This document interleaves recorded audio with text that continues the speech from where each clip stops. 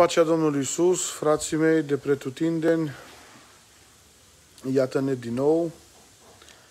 Am hotărât cu fratele Mitruț să mai intrăm încă o dată cu toți frații noștri care iubesc Cuvântul lui Dumnezeu și care iubiți pe fratele uh, Mitruț. Zic ca Domnul Isus să vă binecuvinteze. A, o să fac până fratele Mitruț o să vină cu mine, doar vreau să fac niște anunțuri. A, am hotărât cu fratele Mitruț ca o dată pe săptămână să intrăm uh, live, eu împreună cu fratele Mitruț. Asta va fi în fiecare duminică de la ora 9 ceasul României. Cu ajutorul Domnului vom intra în fiecare duminică, îl veți vedea pe fratele Mitruț la ora 9 ceasul României. Așteptăm pe fratele Mitruț să intre. Uh, nu o să mai facem pacea Domnului la toți, nu o să mai facem live în fiecare zi, pentru că uh, nu este ușor nici pentru mine, nici pentru fratele Mitruț. Și am hotărât să facem doar o zi pe săptămână, că va putea fratele Mitruț mai multe zile și eu și, și se va putea, vom intra dacă se va putea, dar dacă nu, am spus măcar o zi pe săptămână ca fratele Mitruț să împărtășească din cuvântul Domnului. Vom începe cu o cântare, copilul meu Marco a pregătit o cântare și apoi aștept pe fratele Mitruț să intre în orice moment și vă salut cu harul și pacea Domnului pe toți toți ne sunteți uh, dragi. Uh, da, fratele Beneti, sora Ghizela, Petre Petre, fratele Mircea și toți frații care intrați, zic ca Domnul Iisus să vă binecuvinteze. Uite, avem deja 40 de persoane, chiar, uh, chiar este o mirare pentru că frații știu că au așteptat cu mare drag pe fratele Mitruț. Acum știți că am stat 15 zile și nu a fost ușor nici pentru mine, nici pentru fratele Mitruț. Da, zic ca Domnul Iisus să vă, bine, vă binecuvinteze și pe cei, cei care intrați mai târziu sau care nu o să fiți cu noi în direct, dar veți vedea acest live pe parcurs. Marco, haideți, Romedili. Uh, fratele vostru Marco va lăuda pe Domnul cu o cântare. Apoi uh, așteptăm pe fratele Mitruț să intre cu noi. Pace, Grado, pace, cumnatul meu. Domnul Iisus să vă binecuvinteze.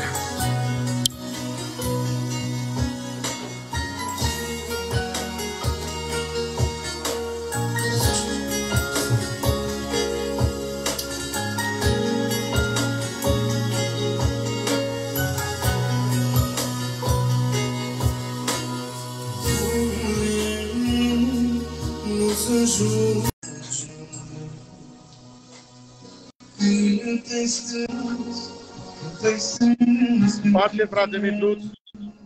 Facea Domnului, facea Domnului. Facea Domnului la toți. O să fie o scurtă cântare. Nici o problemă. Nici o problemă. În cuvânt. Da, și începem cu rugăciune, da? În firme se cera Fiderea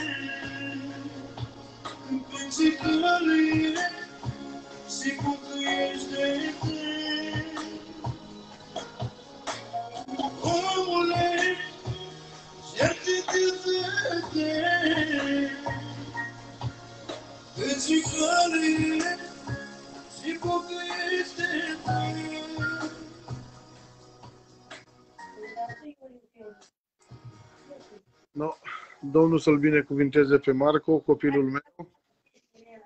Amin, amin. Iisus să vă binecuvinteze și pe voi. Uh, ne bucurăm din nou, frate Mitruț, să vă avem alături de noi. Uh, am pus mesajul acum azi vreo două zile uh, că o să venim pe live. Da, Știu că frații au spus că cu mare drag așteaptă și zic ca Domnul Iisus să-l să binecuvinteze pe Amin. cei care au așteptat uh, pe fratele Mitruț și pe mine. amin, amin. Domnul Iisus să vă binecuvinteze. Aveți cuvântul, frate Mitruț? Uh, dorința mea ar fi ca să începem cu rugăciune, da? Și te rog să te rogi Domnului ca Domnul să-și facă lucrarea, amin? Amin, amin, sigur că da.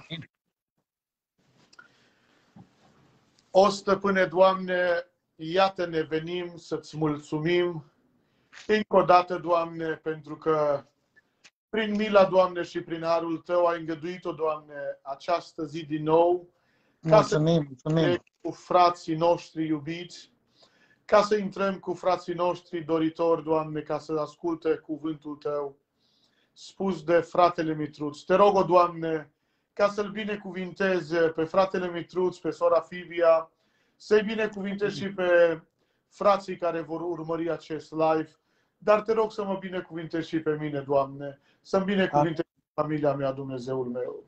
Îți mulțumim, o Doamne, căci uh, prin acest mediu al internetului, Doamne, avem părtășie cu fratele Mitruț. Te rog să-l binecuvintezi, Amin, amin. Pace Dumnezeul meu. Te rog să binecuvintezi și pe cei, Doamne, care vor comenta, Doamne, contra, Doamne. Doamne Dumnezeule, dă-le Tu lumină, Doamne. Amin, amin. Îți mulțumim, Stăpâne, pentru marea ți dragoste. Îți mulțumim pentru toate. Fie slăvit numele Tău cel Sfânt. Amin, amin. Amin.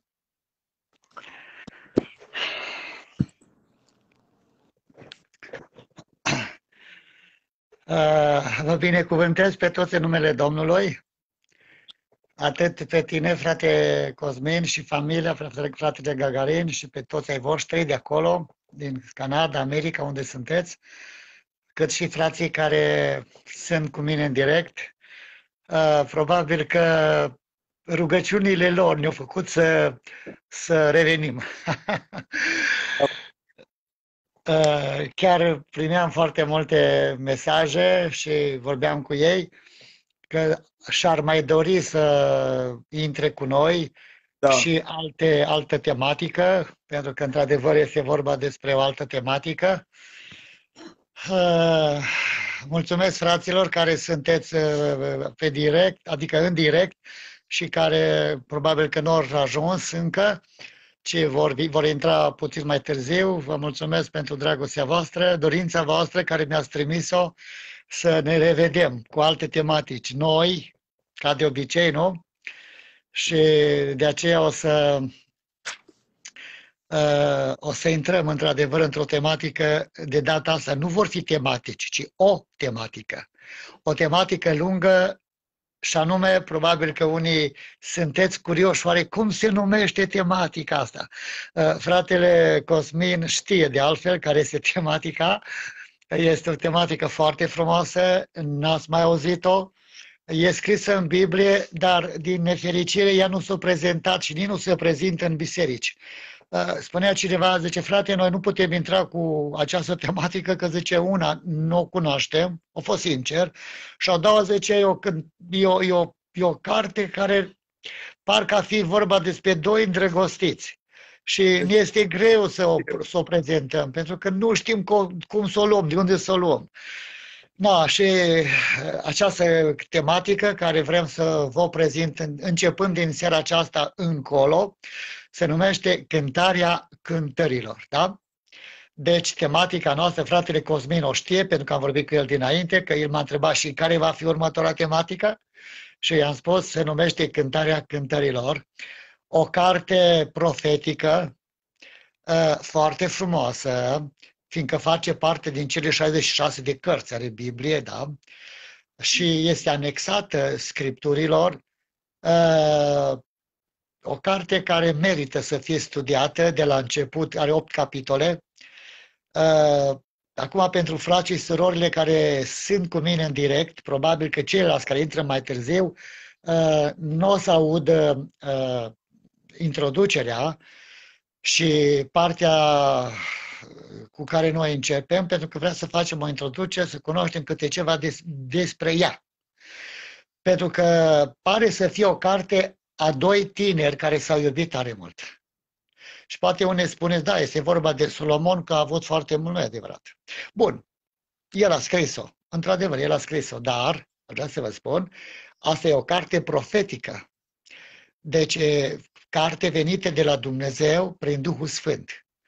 Chiar dacă este vorba despre o carte care uh, prezintă doi tineri care mult să, să iubesc, Uh, în uh, ceea ce Solomon descrie aici, uh, este vorba despre doi tineri și anume Isus și Biserica.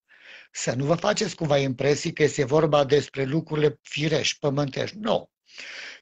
Nu este, nu e vorba despre haremul lui, că l-a avut, sub nicio formă. El, într-adevăr, a avut foarte multe neveste, a avut un harem de ele dar este o carte profetică pentru că uh, el vorbea de la Duhul Sfânt. Deci a primit această cântare de la Duhul Sfânt. Deci el a scris 1005 cântări.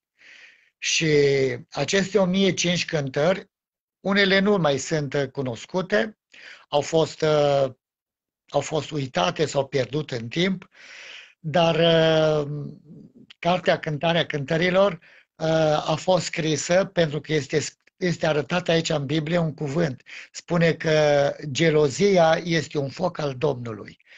Deci, pentru cuvântul acesta, ea a fost anexată pentru că este, este scris numele Domnului în ea. Dacă vă uitați în cartea Esterei, în cartea Esterei nu este nicăieri scris cuvântul Domnul sau Dumnezeu. E foarte interesant, nu? E singura carte din Biblie unde nu este menționat numele Domnului. Și dar totuși a fost anexată pentru că uh, se subînțelege că este vorba despre o luptă a lui Israel, al împărătesei Vasti, uh, pentru binele poporului Israel, fiindcă spune că ea a postit trei zile, uh, a fost o, o femeie activă, chiar fiind împărăteasă, fapt, fapt pentru care poporul Israel a primit o mare biruință prin ea, fiindcă Haman voia să nimicească întreg neamul evreiesc, tot, pe toți iudeii din, din Imperiul uh, așa, uh, Medo-Persan și a fost o luptă foarte mare acolo. Vedeți că și cartea aceasta, chiar dacă nu scrie despre Domnul Dumnezeu, în ea nicăieri nu găsesc scris. În cartea Estere nicăieri nu, nu este scris, nu găsim scris numele Domnului. Nu de nici Dumnezeu, nici Domnul, nici nu, sub nicio formă. Și totuși a fost anexată la Biblie, înțelegeți? Acum, despre cântarea cântărilor, vă spun că este o cântare, o carte foarte grea, ca și celelalte tematici care le-am dezbătut uh, săptămânile trecute, dar uh, vă promit că o să o înțelegem. Pentru că avem un bucătar bun. Și acel bucătar nu este altceva decât cel care a împărțit pâinile. Știți voi foarte bine și în așa mod le-am împărțit încât s-au săturat toți. Și noi tot pe acel avem. Acel bucătar care este sfânt și el știe să împartă pâinile. Da? Bine, bine. Acum, acum v-am spus că facem o mică introducere pe tema acestei cărți profetice de mare însemnătate, că aici o să batem multă vreme pe ea. Nu o să o terminăm într-o săptămână, nu o să o terminăm într-o lună, ci mai mult. Acum, eh, v-am spus, chiar am, m-am gândit așa, dar o să vorbim în viitor, cu, probabil seara aceasta, să vedem ce am putea face, că dacă, eh, dacă rămâne să studiem, să o prezentăm numai duminica, de duminica până duminica, deci o zi pe săptămână, adică numai duminica, îi va fi cam greuț. Acum eu am zis, eu am zis ca părere de-a mea, cum să vorbești cu fratele, fiindcă mă aude, să fie măcar și sâmbătă. Acum, momentan nu știm precis, dar să, să vedem ce am putea face să fie sâmbătă și duminica. Deci astea două zile, pentru că sâmbătă este weekendul și cam toată lumea e pe acasă, duminica este duminica și iar la fel toată lumea pe acasă și cam astea două zile ar fi cele mai, să zic așa, apreciabile, așa, pentru că este vorba despre niște odihne, odihnă, de două zile de odihnă, aproximativ. Deci asta vorbim puțin mai târziu. Uh, eu v-aș fi spus o altă introducere, dar mi-e frică, mi-e frică de unii uh, critici, mi-e frică de unii critici să, să spun de unde a scos Solomon cântarea aceasta, pe baza cărui fapt s-a scris. Și mi-e, mi frică să vă prezint, pentru că uh, este scris în cărțile evreiești și nu în Biblie, Uh, de aceea, cred că mai bine ar fi să nu o prezint, probabil cu altă ocazie sau particular, că această carte, uh, vedeți, dacă vă uitați la cartea Genesa, Exod, Levitic, nu știu ce, cărțile cele cinci ale lui Moise, uh, ele au avut o istorie. Înțelegeți voi? A avut o istorie și anume greul, grea, grea robie. Înțelegeți? A avut o robie și pentru că a avut o robie grea, Domnul i-a scos pe, pe Israel din Egipt. Deci a avut o istorie pentru care s-a scris cartea, da? Așa și aceasta este, are o istorie, dar cred că nu vă spun, pentru că unii s-ar potigni. Înțelegeți? Și așa unii probabil o să vă potigniți și ar începeți cu reclamații, dar nu are importanță. Noi căutăm să vă, pre- eu caut să vă prezint cât de, cât de mult să vă prezint uh, uh să vă, să vă prezint cuvântul, uh, să vă prezint cuvântul, toată tematica să fie bazată pe Biblie, pe Scriptură, da?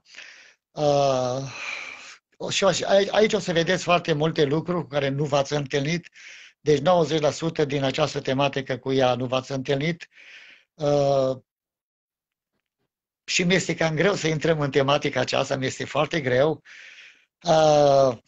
Și apoi vom intra, stai liniștit că vom intra. Că apoi când vom intra, nu mai ieșim noi așa în grabă de aici, nu? Știți cum se intră în apă, nu? Când e mai rece apa, zice, bă, ui, ui, ui, zice că nu mai pot, e rece, mă, e rece, zice. Apoi până a intrat în apă, că apoi nu mai simte receala. Tot așa și cartea aceasta, până intrăm în ea un pic mai greuți, uh, pentru că v-am spus doar așa uh, mare, pentru că ea prezintă uh, despre doi uh, despre o pereche de îndrăgostiți cu o dragoste duhovnicească, dumnezeiască, și anume este vorba despre Domnul Isus, mirele, da, mirele, și ea, ea în, în postura sulamitei, în postura sulamitei, care uh, reprezintă mireasa lui Hristos. Înțelegeți voi? Și dacă vă uitați la cele 39 de pilde ale lui Isus, una dintre ele spune acolo că împărăția lui Dumnezeu seamănă cu o femeie deci care, care lucrează cu trei măsuri de făină, înțelegeți? Deci, iată că Domnul Isus formulează aici Biserica lui Hristos, femeia, care lucrează cu trei măsuri de făină. Și acum vreau să vă spun care sunt cele trei măsuri de făină. Cred că scrie în cartea lui Luca lucrul acesta, vă dau temă de casă, acasă puteți să citiți lucrul acesta. Care sunt cele trei măsuri de făină? Cele trei, prima măsură de făină este trupul, da? Oamenii lui Dumnezeu trebuie să știe cum să lucreze cu oamenii care, uh, eu știu, să pregătească omul din afară, trupul, pentru împărăția Domnului. Trebuie să știe. Exact ca un medic care trebuie să știe cum taie, cum face operație, ce medicamente dă la trup. Înțelegeți?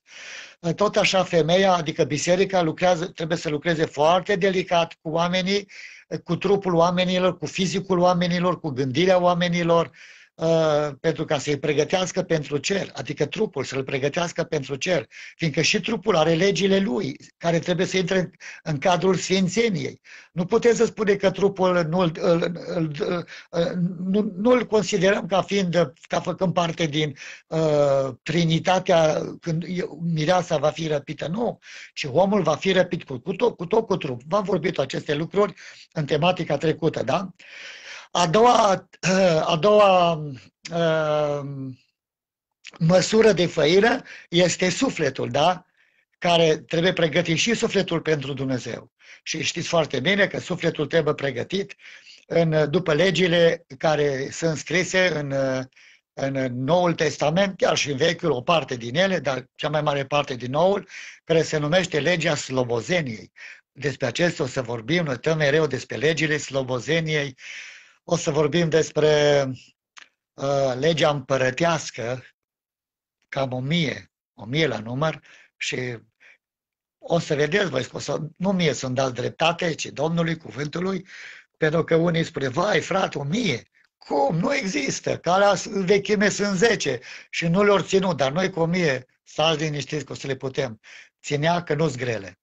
Și a treia măsură de făină, care lucrează femeia, acolo în cuvântul Domnului unde v-am prezentat, uh, este Duhul de viață. Și v-am spus cum se lucrează cu Duhul de viață, uh, adică uh, partea aceea a treia din, din, din Trinitatea omului să fie întreg și el, când v-am vorbit despre unele păcate, și o să vorbim aici și despre păcate roșii, o să încadrăm păcatele în păcate negre, și în păcate roșii. O să vedem și aceste lucruri, niște, niște expresii cu care nu v-ați mai întâlnit și chiar probabil unii o să vă mirați și probabil că unii, chiar dacă o să comenteze, n-are importanță, noi nu ne oprim la ei, pentru că noi tot ce vorbim, vorbim și vrem să vorbim biblic, ca să înțeleagă fiecare. Da? Cam atât despre, despre o introducere. Am făcut așa o introducere mai sumară, mai micuță căci uh, toată cartea Cântarea Cântărilor este vorba despre Hristos și Biserică.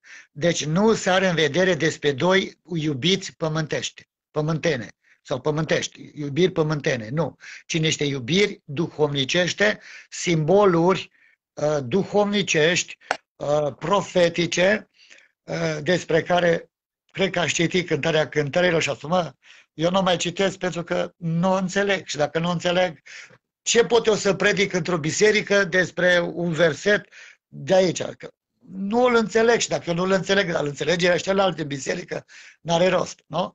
Și atunci oamenii s-au lăsat pe gubaș și predici din cântarea cântărilor, chiar că eu n-am auzit. Chiar că am fost în multe zone, în multe țări, în multe, așa, multe biserici, dar din cântarea cântărilor, chiar că n-am auzit predici. Chiar că n-am auzit. Și nici cei mai uh, cei mai ilustri predicatori, păstori, eu știu, prezentatori ai Bibliei, chiar că ei n-au, n-au atins punctele din cântarea cântărilor. Dar noi o să atingem pentru că este frumos. O să vă convingeți voi. Este ca și Evangheliile lui Iisus, e, e, e ca și epistolul lui Pavel, o să vedeți. E, e ceva frumos și foarte, foarte educativ. E o carte educativă, extraordinar ce educativă este. O să vă convinge pe, pe viitor. Înțelegeți voi? Uh, știți când, uh, când vă angajați undeva, nu? Când vă angajați la, mă rog, undeva, într-o firmă, uh, nu vă interesează cât de greu este. Și ce spuneți la patron sau la maestro, maestrul ăla sau cel care vă învață, mă, mă rog, în firma aceea, spuneți, domnule, care e câștigul? Cât să câștigă pe lună sau pe săptămână, nu? Deci nu vă interesează cât de greu este, dar cât să câștigă, da? Și aș vrea că câștigul, câștigul este, este, este foarte mare. Acum, cu siguranță, pentru că la început, privind cântarea cântărilor sau citim din cântarea cântărilor și prezentarea ei, probabil unii să strâmbați, unii să dați din umeri și spuneți, bă, ce mai să scoată omul ăsta de aici? Chiar că nu văd, chiar că nu văd nimic aici. Aș vrea să vă spun, aurul nu se vede numai, numai când scobești în pământ, în piatră, atunci se vede aurul. Dacă n-ai târnacou bun și un ciocan bun să scobești în pământ, să sapi în pământ, chiar că aurul nu ia și la suprafață, cât ai fi tu de inginer sau eu știu ce meserie ai, uh, în mină, uh, el, el trebuie să pat adânc, înțelegeți voi. Dar uh, o să vedeți când o să dăm de aur, spuneți, măi, chiar că merită să săpăm. Bun, dragii mei. Acum, haideți să intrăm uh, în primul uh, capitol, primul verset, să pătrundem în această frumoasă carte profetică și anume cântarea cântărilor. Vreau să vă întreb, și nu răspundeți voi, că tot eu am să răspund. Dar am să vă pun așa întrebarea, ca voi ca să vă gândiți puțin. De ce i-a pus Duhul Sfânt numele la această carte profetică, Cântarea Cântărilor? Parcă, parcă, parcă ar vrea să spună, să spun așa, dacă, dacă ar fi scrisă aici, în, în această carte, uh, profeția profețiilor, cam tot aceeași problemă ar fi. Adică dintre toate profețiile din Biblie, una este cea mai aleasă, cea mai perfectă, cea mai aproape de ceva care să o numești vârf de cântare, vârf de piramidă de cântare. Înțelegeți? Intră în topul tuturor cântărilor. Înțelegeți voi? Hai să vă spun niște cântări. Uh, ați băgat de seamă când uh, uh, cei din vechime câștigau războiul, chiar și Moise, și Debora, și uh, Maria, și Elisabeta, uh, din, uh, pe vremea Domnului, uh, psalmii lui David, uh, Isaia, capitolul 5, chiar și Isaia a cântat o cântare. Capitolul 5, cântarea viei. Ați băgat de seamă că în toate aceste cântări e pomenit numele Domnului, da? Deci în toate aceste cântări e pomenit numele Domnului sau războaiele, că au avut israeliții cu aceștia. Și atunci ei cu ocazia unor războaie și câștigate de Israel, da? aceștia au compus cântarea, da? Și acolo scrie despre evenimente și prea puțin scrie despre Dumnezeu și de biserică sau de mai puțin, chiar deloc, da? Ei, și acolo scrie, uitați-vă cântarea Anei. De exemplu, când ea fiind încă stiarpă, după ce a primit, a primit copilul, ea a compus o cântare prin Duhul Sfânt, da? Și acolo veți găsi bucuria ei, cum laudă pe Domnul, cum omagează pe Dumnezeu, că a dat Domnul un copil, da? Ei, această cântare scrisă de Solomon, deci împăratul Israel, el era un compozitor, a scris 1005 cântări, scrie în Cartea Regilor, nu vă mai citesc, Uh, cei care vă ocupați cu Scriptura știți lucrul acesta, 1005 cântări a compus Solomon. Înțelegeți voi? Printre care și această cântare frumoasă, care este o profeție. Și aș vrea să vă spun, dintre toate cântările pe care le-au compus cei din vechime și chiar și în Noul Testament, da? Uh, dintre toate aceste cântări, cântarea aceasta este numită cântarea top 1. Adică este mai presus decât toate cântările din Biblie. Deci nu există nicio cântare ca și aceasta. De ce? Pentru că este o profeție Hristos-Biserică. Deci, din, din 100 de versete sau 99 de versete, toate prezintă pe Hristos și biserică, unul la mână, doi, arată despre uh, părțile Duhului Sfânt sau compoziția Duhului Sfânt care există în biserică, părțile Duhului Sfânt din biserică, talantele Duhului Sfânt. Trei, sfințenia, sfințenia ei, a miresei a lui Hristos, da, din această cântare a cântărilor, uh, arată despre uh, luptele miresei pe pământ cu diavolul și cu oamenii răi, da? Arată despre uh, frumusețea cu care Dumnezeu a înzestrat biserica, adică femeia, adică Sulamita, da? Uh, apoi arată cum aseamănă, cum se aseamănă ea, uh, cum arată, cum, cum apare dragostea lor, ca un lipici. Și o să vedem noi și despre lipiciul acesta și multe, și o să găsim noi o, o mulțime, o mulțime de uh, aspecte din partea Tatălui care el aseamănă, deci aseamănă, în, deci chip profetic, asemănător, uh, chiar firesc, unele prea puțin părți firești, găsim aici în cântarea cântărilor. Prin urmare, ce am zis, de ce s-a pus numele cântarea cântărilor? Că ea este top între toate cântările care sunt scrise în Biblie. Uitați-vă câte cântări sunt în Biblie și veți găsi cântarea lui Moise, cântarea lui David, cântarea uh, uh, al, al Mariei, al Anei, al Deborei și alte și alte cântări. Ei, dintre toate aceste cântări, toate câte sunt foarte multe cântări în Biblie, nici una nu este ca aceasta pentru că ea reprezintă Hristos Biserica. De aceea spune că ea este cântarea care este number one față de toate cântările care sunt menționate în Biblie. Înțelegeți voi? Pentru că Duhul Sfânt aici prin Solomon arată Hristos Biserica. În rest nimic. Chiar că arată în, în mod simbolic, în mod profetic, în mod asemănător. O să vedem aceste lucruri.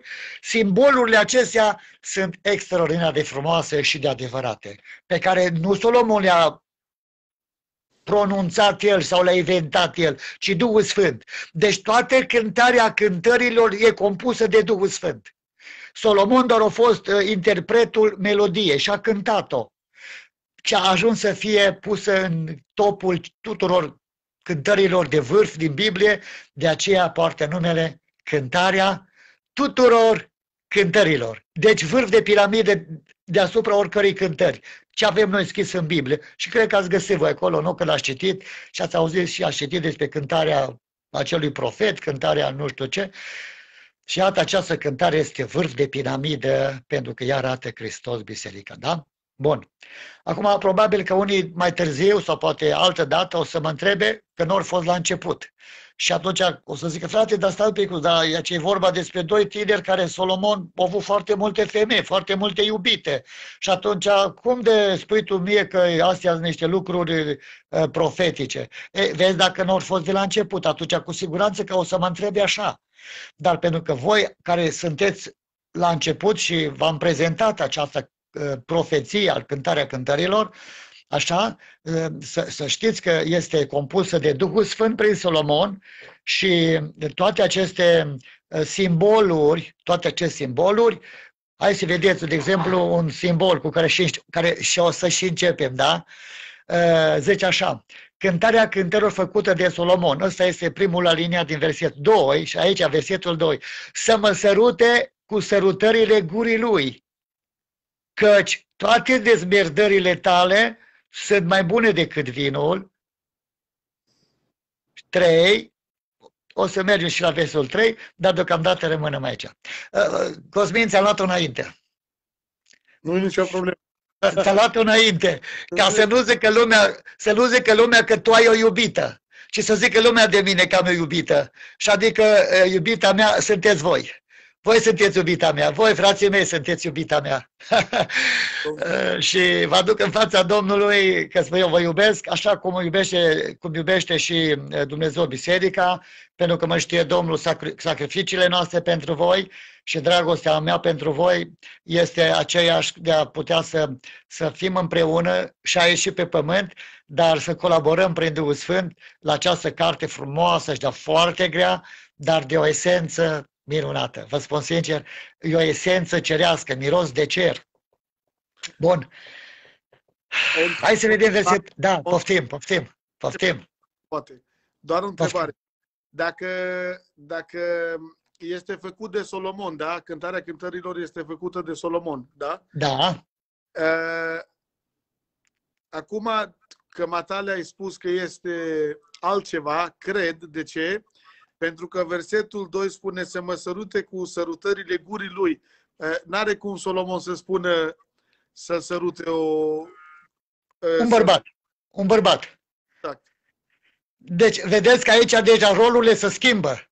E dorința ei, adică dorința miresei lui Hristos, a bisericii, ca El să ne sărute și să vezi ce fel de sărută. Nu e vorba de un sărut al morții sau, uh, uh, eu știu, așa iurea, ci este dorința ei, a bisericii lui Hristos ca El să ne sărute. Să vedeți ce înseamnă sărutul acesta. Este, extra, este o capodoperă cântarea aceasta. Cartea aceasta profetică e o capodoperă, înțelegeți? Bun. Uh, hai să vedem despre sărut. Deci, deci uh, uh, uh, aceasta este pretenția miresei. Asta e pretenția ei. Ca Domnul Isus să aibă uh, acest manifest asupra ei. Ce înseamnă sărutul? Sărutul, orice, orice căsătorie nu se sfârșește cu un sărut, da? Orice logodnă, orice logodnă se sfârșește cu un sărut, da?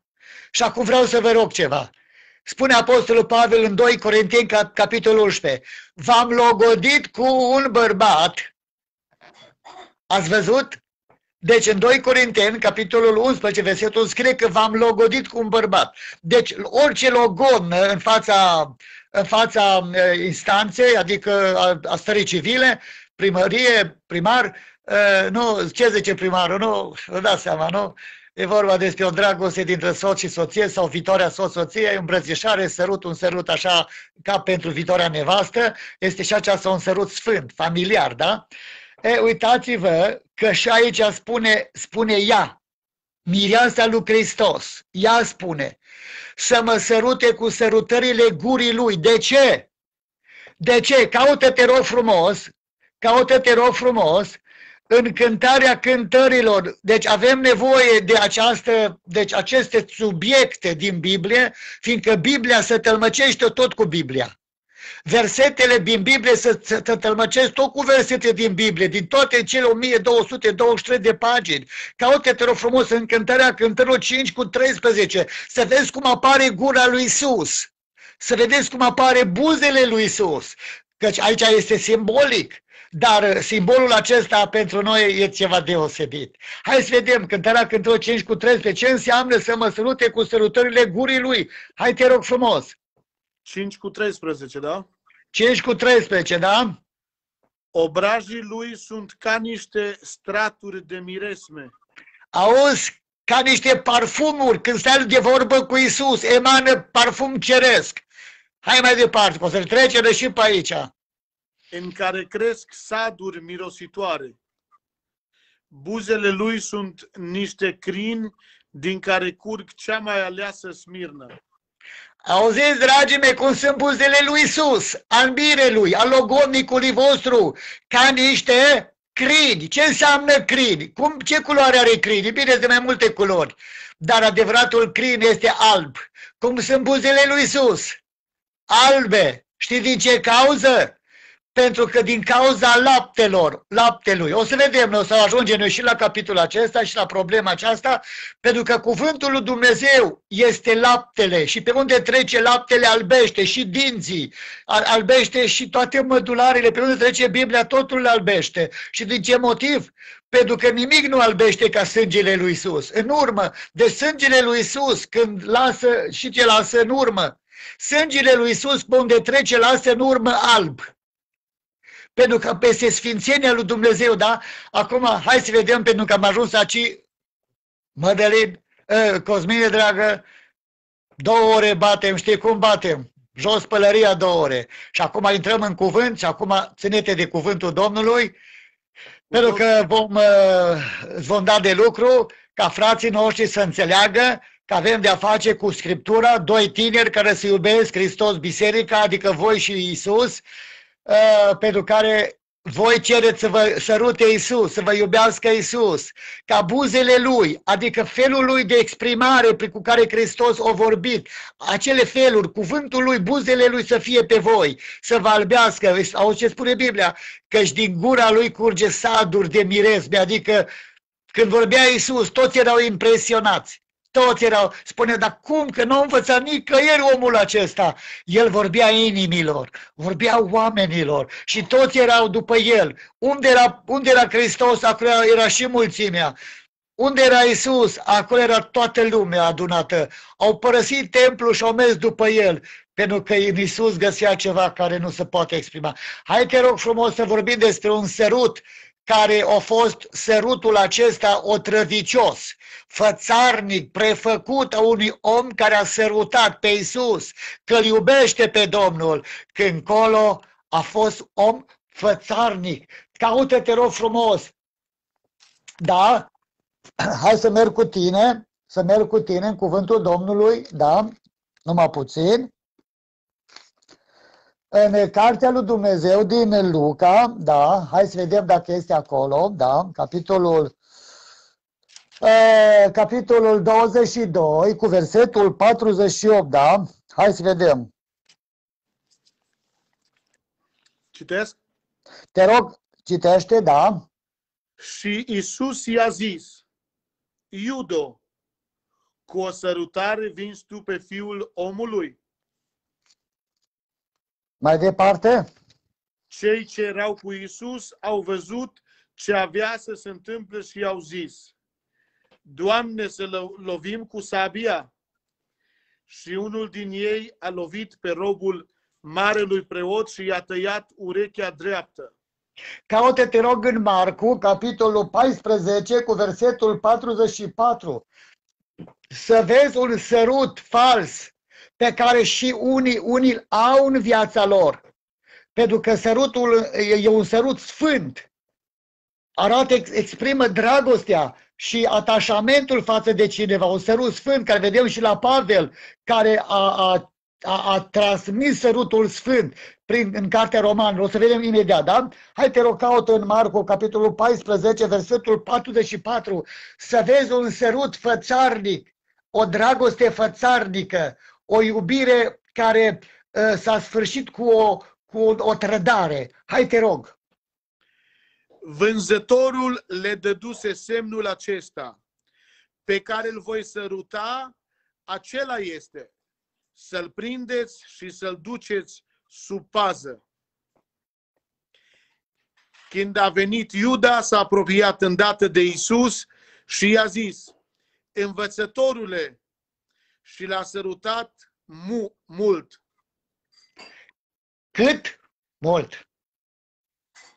Ați văzut? Pentru că Iuda, când a venit la Isus cu aprozii și cu uh, mercenarii aceia, l-au sărutat. El, de ce l-au sărutat? El a zis că vrea să-și exprime iubirea față de el. Dar când colo, când colo l-a sărutat solul morții pe obraz. Deci moartea l-a sărutat pe Isus pe obraz. Pentru că oricum știa că moartea îl va lua pe Isus și îl va duce în locuința morților. O știu că Isus trebuie să moară și l-a, sărut, l-a sărutat solul morții pe obraz. Cât l-a sărutat?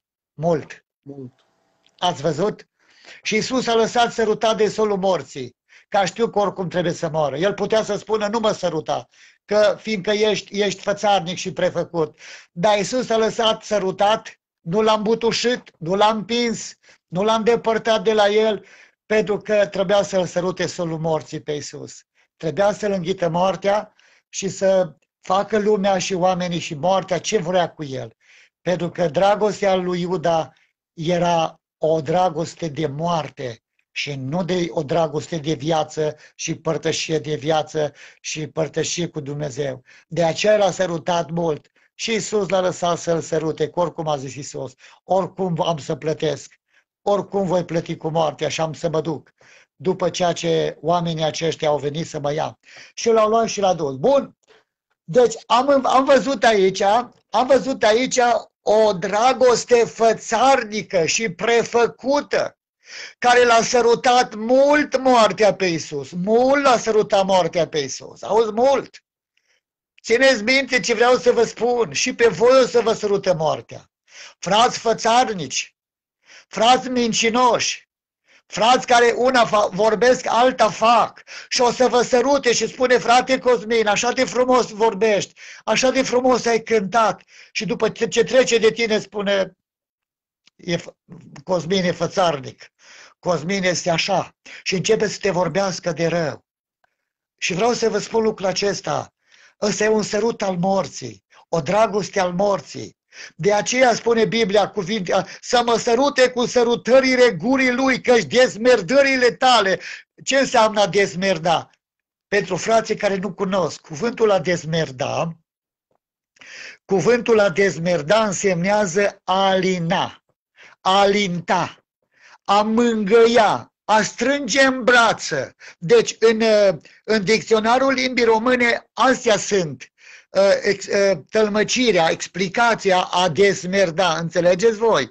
Deci a desmerda însemnează uh, a, a alinta, a strânge în braț, a mângăia, a pune mâna pe obraz și a mângăia. Asta înseamnă a desmerda. Oameni buni, cine mângâie mai bine ca Duhul Sfânt? Cine oare face chiar când plângi? se dezmerde și simți bucuria și în lacrimi. Cine o face mai bine ca aceasta? Spune Biblia acolo ferice. Cum să spui ferice, Doamne, de cei ce plâng? Nu există, lume spune să nebuni. Cum să găsești o fericire în lacrimi și în plâns? Când toată lumea trebuie să fie veselă, nu? Și uitați-vă, Iisus vine cu altă concepție. Duhul Sfânt desmeardă și prin lacrimi, și prin suferință, și prin tăcând, și când ești supărat, Duhul Sfânt e acela care spune, nu te teme, taci, lasă că o să primești rezultatul, ai să primești uh, uh, partea aceea care ți se cuvine. În vremea aceea, chiar dacă aici nu o să primești răsplătirea cuvenită, o vei primi acolo în ce vrabdă, pentru că mai degrabă este de cel ce dă, uh, cel ce rabdă decât de cel ce dă. Ferice de cel ce primește, mai bine spus, când primește o lovitură decât cel ce dă. Pentru că orice om fără minte știe să lovească și știe să dea. Bun, hai că mergem mai departe la sărutul sfânt, da? Caută, te rog frumos cu mine, da? În, în, în Roman, capitolul 16, versetul 3 5, 6 și 7, da? Roman, capitolul 16, să vedeți despre sărutul sfânt, despre care scrie Biblia, să mă sărute cu sărutările gurii lui, adică a mângăia cu cuvintele lui. Nu e așa că atunci când cineva te mângâie cu cuvintele lui, parcă ar fi ca un sărut sfânt pe obrazul, pe obrazul tău, nu e așa? Hai să vedem, Roman, capitolul 16, 3, 5, 6 și 7, da? Spuneți sănătate Priscilei și lui Aquila, tovarășii mei de lucru în Hristos. Spuneți sănătate și bisericii care se adună în casa lor. Spuneți sănătate lui Epenet, prea iubitul meu, care a fost cel din tâi rod al Asiei pentru Hristos. Versetul 7. Spuneți sănătate lui Andronic și lui Iunia, rudele mele și tovarășii mei de temniță care sunt cu vază între apostoli. Ei au venit la Hristos mai înainte de mine chiar. Da? Bun. Numai puțin. Uh, Acum caută-te rog frumos în Roman 16 cu 16. Uh, da. Spuneți-vă sănătate unii altora cu o sărutare sfântă. Toate bisericile lui Hristos vă trimet sănătate. 2 Corinteni 13 cu 21 și apoi, apoi mergem și le explicăm problemele acestea, da? Dar acum dăm numai documentații, ca apoi să revenim. 2 Corinteni 16. Da? 2 Corinteni 13 cu, 20, cu 12, da? 2 Corinteni 13 cu 12, da? Înțeles, 13 cu 12. Acum vedem ca într-o oglindă, în chip întunecos, dar atunci vom vedea față în față. Acum cunosc în parte, dar atunci voi cunoaște de plin, așa cum am fost și eu cunoscut pe deplin. Uh, probabil că e o greșeală, nu are importanță. 1 Petru 5 cu 14, da? 1 Petru 5 da. cu 14, da? Hai să vedem ce spune acolo. 1 Petru 5 cu 16, mi se pare că a spus. 1 Petru, 1 Petru 5 cu 14, da? Hai să vedem. Spuneți-vă sănătate unii altora cu o sărutare de dragoste. Auziți? Oameni buni, dragostea lui Dumnezeu, care o are și care o aveți, ea se manifestă în om cu o dragoste sfântă, ca o dragoste sfântă. Înțelegeți voi?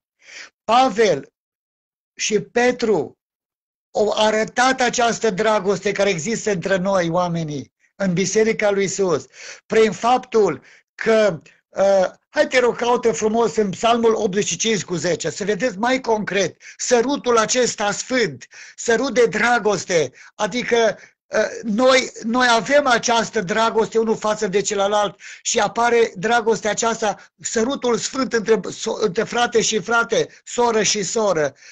Deci apare ceva care, care, hai să vedem ce spune aici, da? Psalmul 85 cu 10, da? Da.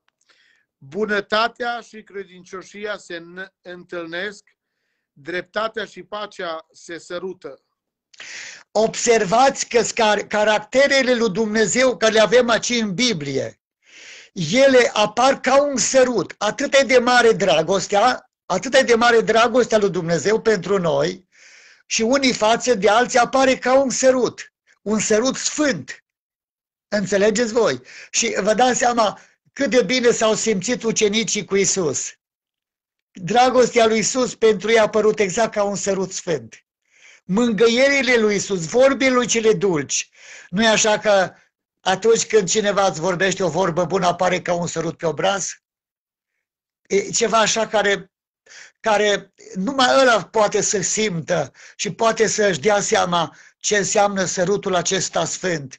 Când cineva e părtaș cu tine la necaz, e cu tine la, în situație grea și critică, apare dragostea aceasta care îl ajuns pe cineva sau o ajuns pe cineva, cuvintele tale atât de dulci și frumoase pentru cineva, plin de iubire pentru Dumnezeu, apare exact ca un sărut. Așa că atunci când îți săruți fica ta, îți săruți copilul tău, nu?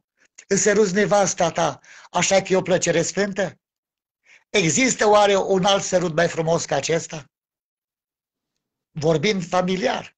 Că și în, sunt și săruturi uh, ne la locul lor. Într-adevăr, noi nu avem treabă cu ele, cu aceste săruturi.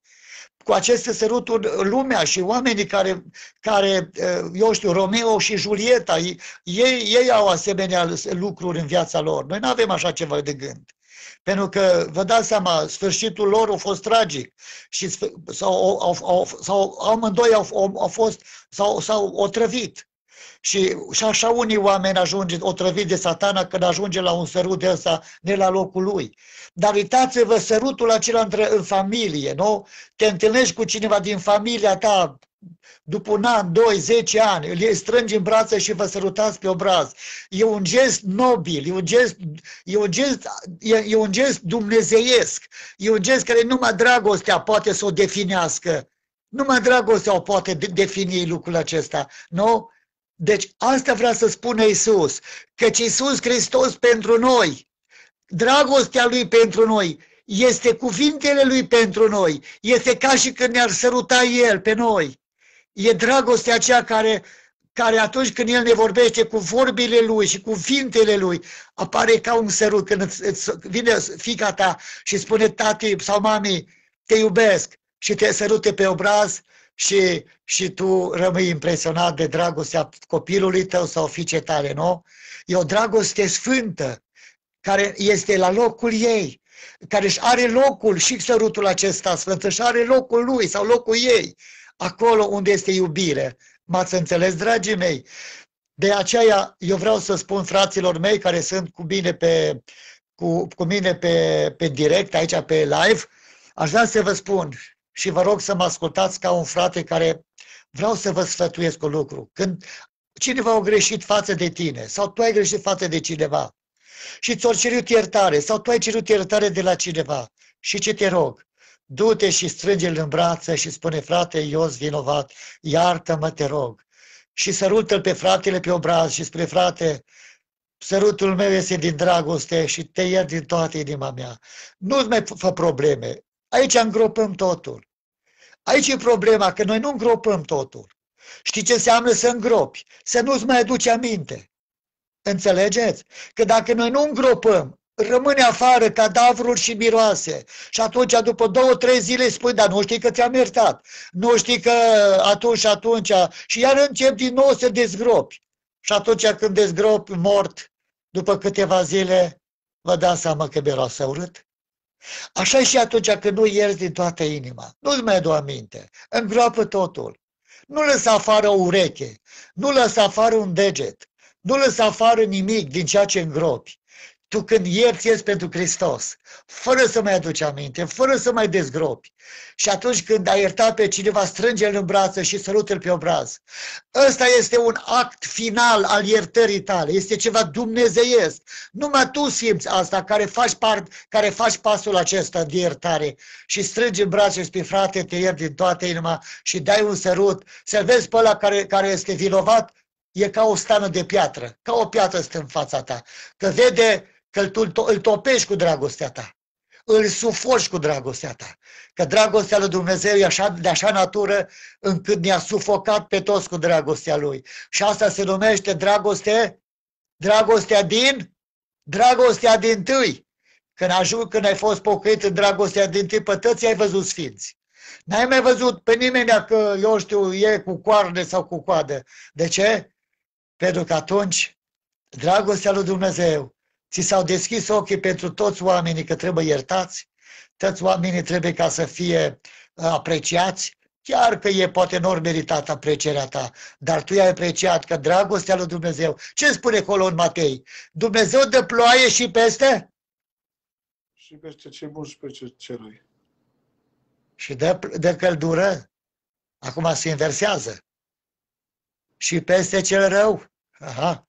Uitați-vă în Matei, așa scrie în Matei se inversează. Deci el dă căldură și peste cel rău, mai întâi peste cel rău. Și apoi peste cel bun. Vedeți ce face Dumnezeu? Dragostea lui, sărutul lui. Ăsta e sărutul lui. Așa, așa ne iubește Dumnezeu, cu o dragoste ca un sărut sfânt. Și atunci când se apropie Isus de tine și te sărută cu, cu vorbile lui, cu felul lui de exprimare, cum îți vorbește prin proroc, prin vedenii, printr-un vis de noapte, cum îți vorbește fratele, cum îți cântă o cântare prin Duhul Sfânt, cum îți predică un frate prin Duhul Sfânt, așa că apare ca un sărut pe obraz și din ochii tăi curge lacrimi. Și inima ta începe să fie uh, despetrită și parcă ești un alt om și spui, mă, mă, mă, simt, mă simt altfel. Eu sunt iubit, mă simt iubită. Înțelegeți voi? Vedeți cât de adânc e cuvântul Duhului Sfânt prin cântarea cântărilor? Să mă sărute, adică mireasa lui Hristos dorește de la Hristos. Mă, oameni buni, hai să vă spun o taină mare în seara aceasta. Că v-am spus că e locul, e locul tainelor aici. Noi mergem numai din secrete în secrete și din taine în taine în cântarea cântărilor. E foarte grea. Deci noi, mireasa lui Hristos, așteptăm de la Isus iubire și dragoste, să mă sărute El cu vis, cu vedenii, e un sărut. Prorociile, e un sărut. Ă, ă, Duhul Sfânt, când ai primit, e un sărut. uh, uh, talentele Duhului Sfânt care sunt în tine, ți l-a dat Dumnezeu, toate sunt săruturi de la Hristos fiindcă El ți le-a dăruit, dragostea Lui, toate sunt săruturile acestea, răspuns al iubirii Lui față de tine, așa pare acestea. Și acum hai să vă spun un, lucru, un, un nou lucru sau un, un, un nou uh, adevăr care cred că nu știați. Ca răspuns al iubirii Lui. Hai te rog frumos, caută în cartea Lui, da, să căutăm acum în cuvântul Domnului, da, în cartea lui Eremia.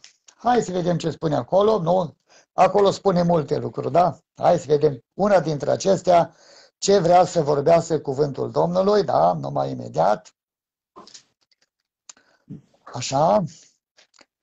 Cuvântul Domnului în capitolul, ia să vedem, Eremia, capitolul 31, cu versetul 22 și fiți atenți la o dragoste extraordinar de mare și uite, și o schimbare, o schimbare a dragostei lui Dumnezeu. Până acum Dumnezeu s-a dus la Israel, da, și a pețit pe Israel, nu? Dumnezeu s-a dus și a zis către Moise, Moise, eu vin cu tine în Egipt și vreau să mă fac de cunoscut. Dragostea mea vreau să se facă de cunoscut pentru evrei. S-a făcut dragostea de cunoscută a lui Dumnezeu pentru evrei. S-a făcut, nu? I-a scos din Egipt cu putere mare și a spus Israel, eu te iubesc, ești întâiul meu copil, întâia mea nevastă, ești iubirea mea, te iubesc, ești, ești întâiul meu născut și iubit sau iubită, nu? Și spune în cartea lui Ezechiel, erai goală de tot, erai în sângele tău, adică în păcatele tale, erai amestecat în sângele tău, încă, încă toți care treceau pe lângă tine, nimeni nu te băga în seamă. Eu m-am oprit lângă tine. Te-am spălat? Te-am spălat? Ți-am dat o haină albă? Te-am îmbrăcat cu sculele, te-am îmbrăcat cu scule de aur și te-am făcut mireasă. Iată că Dumnezeu a pețit mireasa pe Israel. Și când a văzut că ea este iubită, ca și Vasti, când a văzut că este frumoasă și iubită, o zis către împăratul uh, uh, Haman, uh, Mardoheu, nu, scuzați, Ahasveros. Către Ahasveros, da? Și ce o zis? Când o zis eu să vină să, să arate cât de frumoasă e la generale și împărat, o spus, nu mă duc. Păi cum adică nu vii? O să nu mă duc. Vedeți, când omul se simte apreciat, apare mândria și atunci vă dați seama în ce situație a ajuns împăratul? Și a despărțit-o de, de, de dragostea lui. Deci acum hai să vedeți un lucru nou și te rog să cauți în Ieremia, în capitolul 31 cu versetul 22. O zis Dumnezeu, eu nu mai pețesc pe nimeni. Eu nu mai pețesc pe nimeni. Am pețit pe Israel și-o bătut joc de mine. No, eu nu mai, mă, nu mai mă închin acum la țărâna pământului. Nu mai mă închin. Eu, Dumnezeu, așa de mare, să, să mă închin cu dragostea mea la, la, la, la țărâna pământ, că nu mă bagă în seamă. Când s-o, s-o simțit iubită și iubiți, mor întors spatele, o scol limba către mine. V-am spus, în Isaia 59, o, întors, o, o scol limba către evrei, o, întors limba, o scol limba către Domnul. Vă dați seama în ce situație a ajuns dragostea lui Dumnezeu? Și o spus Domnul, n-am să mai pețesc pe nimeni, am voi să mă pețiți pe mine. Hai te rog frumos, caută, da? Ieremia 31 cu 22. Da. Până când vei fi pribiagă, fică rătăcită, căci Domnul face un lucru nou pe pământ. Femeia va păți pe bărbat. Aha, o zis Domnul, știi ce? Eu acum nu mai caut pe nimeni, că m-am păcălit mi-am arătat dragostea mea pentru poporul Israel și am întors spatele. Și am chinuit tare rău, tare rău am chinuit, tare rău am suferit. Acum știi ce? Acum eu le trămăt cuvântul Domnului și să vină ei să mă pețească pe mine. Să umble mireasa acum, muierea să umblă după mine ca bărbat. Și uite că așa se întâmplă. Nu-L cauți tu pe Dumnezeu? Nu cauți tu să ce bocezi? Nu-L cauți tu cu mărturisirea păcacelor? Nu cauți tu oare după Isus și plângi după Isus și spui, Doamne, vreau cu tine. Aha, Până acum Dumnezeu a făcut cu Israel treaba asta și s-o îngânfat, s-o lățit, s-o... Hai să vedem ce, ce... Aș vrea să vă spun uh, mândria unui om. Mândria unui om când ajunge în situația aceasta, te rog, caută în capitolul 32. Și o spun, Domnul, nu mai fac treaba asta pentru că mă crede că sunt și eu om, ca ei. Și Dumnezeu spune, n-am să mai mă cobor la nivelul nimănui decât să mă cauce acum, să mă pețească ei pe mine. Și acum așa se întâmplă, da? În, în, în 32 de Eutronom, versetul 15, aliniatul, ai, da, da, 15, da? 32 cu 15, da? Deuteronom 32 cu 15, da? Te rog. Imediat.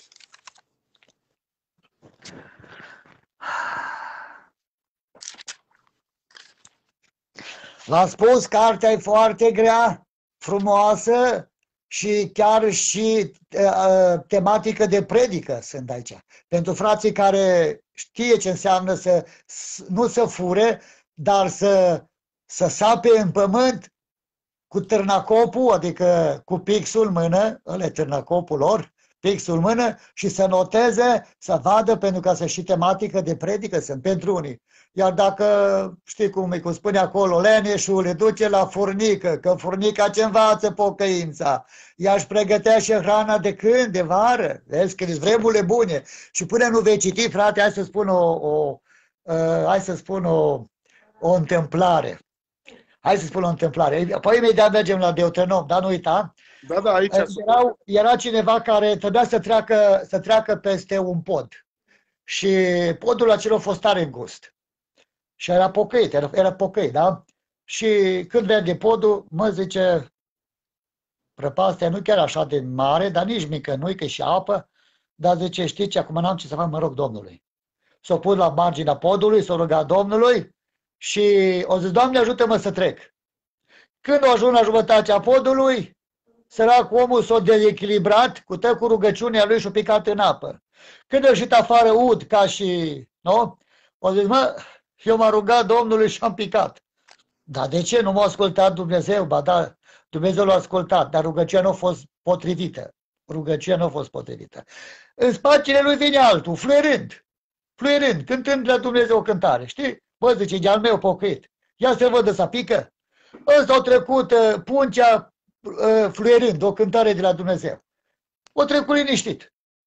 Bă, zice, care e secretul tău? Că eu m-am rugat la pod să nu cad în apă și am căzut chiar în mijlocul, în mijlocul apei. Și m-a rugat, zice, m-a rugat. Și tu cum ce n-ai căzut în apă? Că ai, ai cântat, ai, frenonat, ai fredonat o cântare, zice. Ce s-a întâmplat cu? Care e secretul tău? Bă, eu m-am rugat acasă.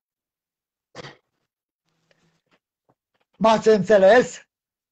Eu m-am rugat acasă, eu nu m-am rugat atunci când e cazul. Deci e bine ca să avem altare acasă, în, în, în orice caz, nu atunci când vine groapa cu lei, Doamne, Doamne, unde ești? Nu, ci în momentul în care, deci când, până când, pe, pe când ne merge bine, atunci să facem uh, aceste rugăciuni și altare. Bun, hai să mergem mai departe, da? Vă rog, hai te rog, caută în Deuteronom să vezi ce înseamnă mândria, pentru că Dumnezeu a dat atâta importanță lui Israel și Israelul eu întorc la Dumnezeu cu o monedă falsă. Hai să vezi. 32 cu versetul 15 a spus. 15, da. Israel s-a îngreșat și a zvârlit din picior. Te-ai îngreșat, te-ai îngroșat și te-ai lățit și a părăsit pe Dumnezeu ziditorul lui a nesocotit stânca mântuirii lui.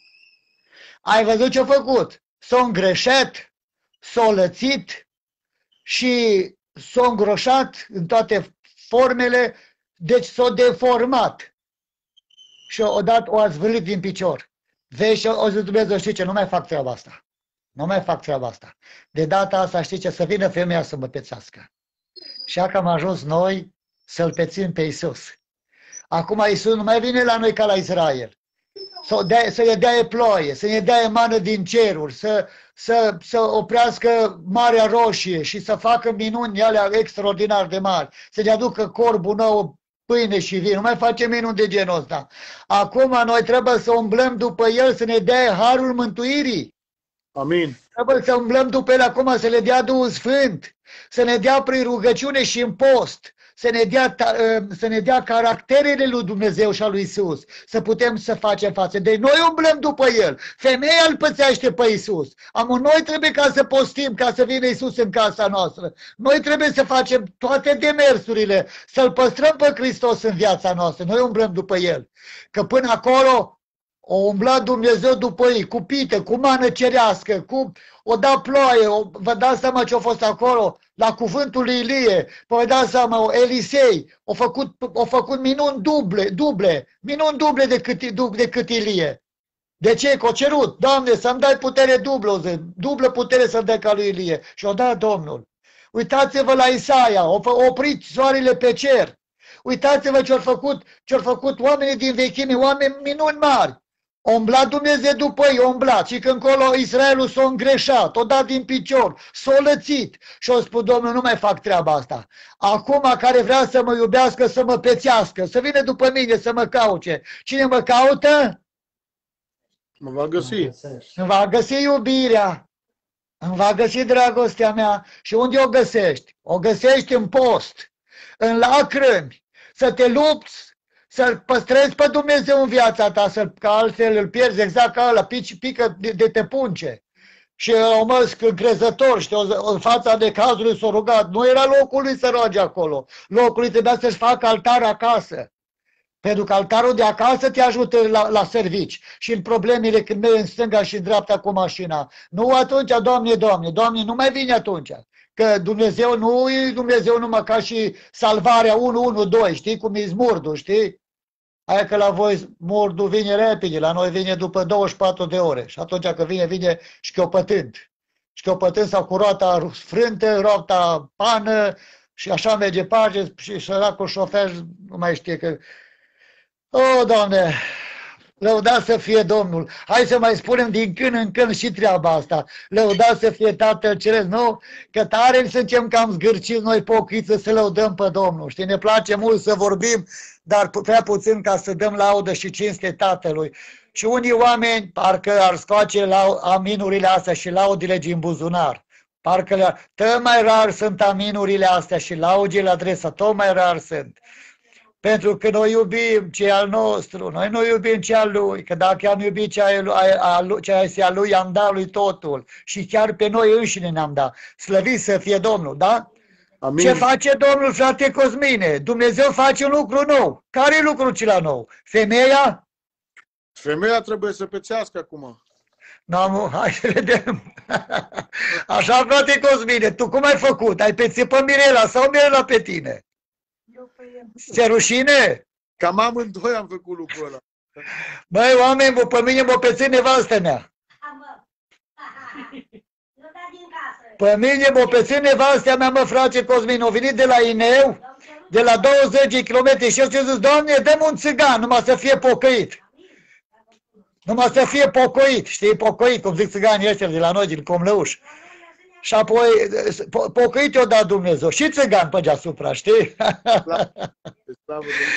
Bun, bun, frații mei, bun. Hai să ne mai descrețim un pic frunțile noastre, că văd aici că curge o grămadă de nu știu ce, dar nu pentru mine, pentru Hristos, slăvit să fie numele Lui. No, acum hai să vedem cum pețește, cum pețește uh, femeia pe bărbat. Mai întâi de toate, înainte că sunt patru legi, sunt patru legi, da? Mai, mai întâi de toate, hai să vedem care sunt lucrurile uh, noi din Biblie, da? Hai să vedem care sunt lucrurile noi din Biblie, da? Hai să vedem. Uh, nu știu, cred că în cartea, cântarea, cânt, în cântarea, în, în cartea Eclesiastului, așa cred că în cântarea, în, uh, da, în Eclesiastul, pare mi să scrie acolo un cuvânt, nu? Că când vezi un lucru, îi spui așa, o, lucrul ăsta mai fost. Nimic nu-i nou sub soare, nu? Așa, așa scrie în Eclesiastul. Cred că nu vă mai citesc, că nu mă pierde timpul cu aceasta, da? Am găsit și eu cuvântul. Ai găsit și tu cuvântul acela în Eclesiastul, spune că dacă zici despre un lucru, oh, uite un lucru nou. Oho, de multe vreme au fost și lucrurile acelea sub soare. Că n-ai, nu, n-ai, nu l-ai prins tu, l-au prins probabil altă generație. Bun. Acum, hai să arăt niște lucruri noi care norme fost. Chiar că zice Solomon că nimic nu este nou sub soare, totul este vechi. Of, aceste lucruri au fost și în alte generații. Dar eu, Biblia, acum, acum zi, mă, Mitruț, întotdeauna are, are, e ca mâța aia, că de că am susținut în picioare cage. Nu am eu dreptate, că cuvântul Domnului dreptate. Acum hai să vă arăt care sunt lucrurile noi, care, care nu au mai fost pe pământ. Eclesiastul spune că toate au fost pe pământ. Nu există lucruri vechi, nou pe pământ, toate sunt vechi. Dar eu zic că nu. Lucruri noi care nu au mai fost pe pământ. Hai te rog, un lucru nou care nu a mai fost pe pământ. Să vă prezint, da? Te rog, caută frumos. În Evanghelia după Ioan 3 cu 3, da? Hai să vedem un lucru nou care pe pământ nu a mai fost. Nu a mai fost pe pământ lucrul acesta nou. Hai să vedem. Ioan 3 cu 3. Deci un lucru nou care nu a mai fost pe pământ. Cu toate că Eclesiastul spune că nu e adevărat, toate ori fost, nu există să, fi, să nu fi fost. Dar uitați-vă că vine Domnul Isus cu ceva nou, da? Te rog frumos, caută Ioan 3 cu 3, da? Drept răspuns, Isus i-a zis, adevărat, adevărat îți spun că dacă un om nu se naște din nou, nu poate vedea împărăția lui Dumnezeu. Auzi că e lucru nou? Auziți că ăsta lucru nou nu mai fost? Trebuie să te naști din nou. Lucru nou, o să nu mai fost pe pământ. Când o mai fost lucrul ăsta nou? Niciodată. Să se nască, să se nască din Duhul Sfânt? Pentru că în vechime nu a fost Duhul Sfânt să rămână în oameni. Chiar că spune, chiar că spune, uh, chiar că spune, da. uh, așa mulțumesc, chiar că spune uh, uh, David, Doamne, nu lua pe Duhul Sfânt de la mine. Păi normal că el s-a rugat că o buctat-o, o pățit-o. Și Duhul Domnului nu stă în păcat. Până în venit Natan și a spus cu mielușeia, tu ești la mă, tu ești la pistriț. Da. Pentru că tu n-ai vrut să recunoști de la bun început. Ai gândit că merge cu Dumnezeu ca cu oile tale, nu ca cu Goliat, îți mere. He, nu merge așa, nu merge cu Dumnezeu așa. Vreau să vă spun, deci lucru nou pe pământ este cel din tâi. Și anume, care este lucrul nou cel din tâi? Născut din nou. Nu mai fost asta până până atunci. Lucru nou nu mai existat. Și acest lucru nou, hai să vedem în ce costă. Da? Mai departe, da? Citim mai departe? Da, da, te rog. Nicodim i-a zis, cum se poate naște un om bătrân? Poate el să intre a doua oară în pântecele mamei sale și să se nască? Iisus i-a răspuns, adevărat, adevărat îți spun că dacă nu se naște cineva din apă și din Duh, nu poate să intre în împărăția lui Dumnezeu. Observați că aici arată niște nașteri. Asta nu mai fost. Înainte nu a fost nici pe vremea lui Clesiastu, nici pe lui Moise, nici pe lui nimănui dintre, dintre uh, uh, titanicii lui Dumnezeu. Nu mai fost. De ce? Pentru că Isus a venit cu vinul nou. Fiindcă nimeni nu a putut să facă din apă vin. Uitați-vă în toate lucrurile lui Dumnezeu. Nimeni n-a transformat din apă în vin. Nimeni n-a făcut-o. Dar Isus a făcut-o. Înțelegeți voi? Vinul acesta din apă reprezintă Harul lui Hristos. Harul sau legea slobozeniei care are o mie de porunci. Și să nu creadă cineva că uh, uh, legea slobozeniei are uh, legi foarte puține ca și ala 10 porunci. Vă dați seama, sunt o mie de porunci.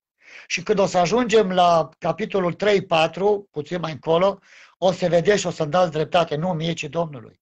De legea Harului sau legea slobozeniei, care spune Iacov, are o mie de porunci. Păi dar spune, frate Mitru, dar care sunt poruncile alea? Poate că unii săraci, chiar că sunteți așa de nedumeriți și dornici, Chiar că sunteți dorni. Știi cum spune cineva? Mă, zice, chiar dacă nu-mi dai din plăcintă să mă satur, dar mă, mă, dă măcar o linguriță, mă, să gust, mă. Ca nu cumva să mor, mă, și să nu gust din plăcinta aia ta frumoasă și bună, mă. Hai, mă, dă măcar o linguriță. Hai, mă, să-ți dau, mă, zice. Am să vă dau și eu câte un picut din lingurița aceea, că până ajungem la capitolul acela, capitolul 4, vă dau numai o linguriță că să nu cumva să fie cineva răpit la ceruri, să meargă la ceruri și să n-audă cuvântul acesta. Oameni buni! Oameni buni, uh, iertați-mă pentru că am, am oprins frigurile la gură și probabil că se vede, probabil că se vede niște așa, dar cer scuze. Uh, hai să vă arăt niște, hai să vă arăt niște, niște porunci din uh, Iacov, unde spune acolo că veți fi judecați de o lege numită legea slobozeniei. Ce înseamnă legea slobozeniei? E slobod. Ești liber să faci ce vrei. Dar să nu uiți că pentru toate lucrurile vei da socoteală. Toate lucrurile le putem face, dar nu toate sunt de folos. Orice lucru putem să-l obținem, dar nu toate sunt pentru mântuirea noastră. Înțelegeți voi? Suntem liberi. Dar să nu facem din libertatea aceasta ceva, o pricină în care să, să zicem Dumnezeu e bun și ne iartă. Nu. Deci, hai să vă arăt niște o mie de porunci. Dar totuși, înainte de toate, arată Biblia despre problema aceasta? Hai, caută-te rog frumos, da?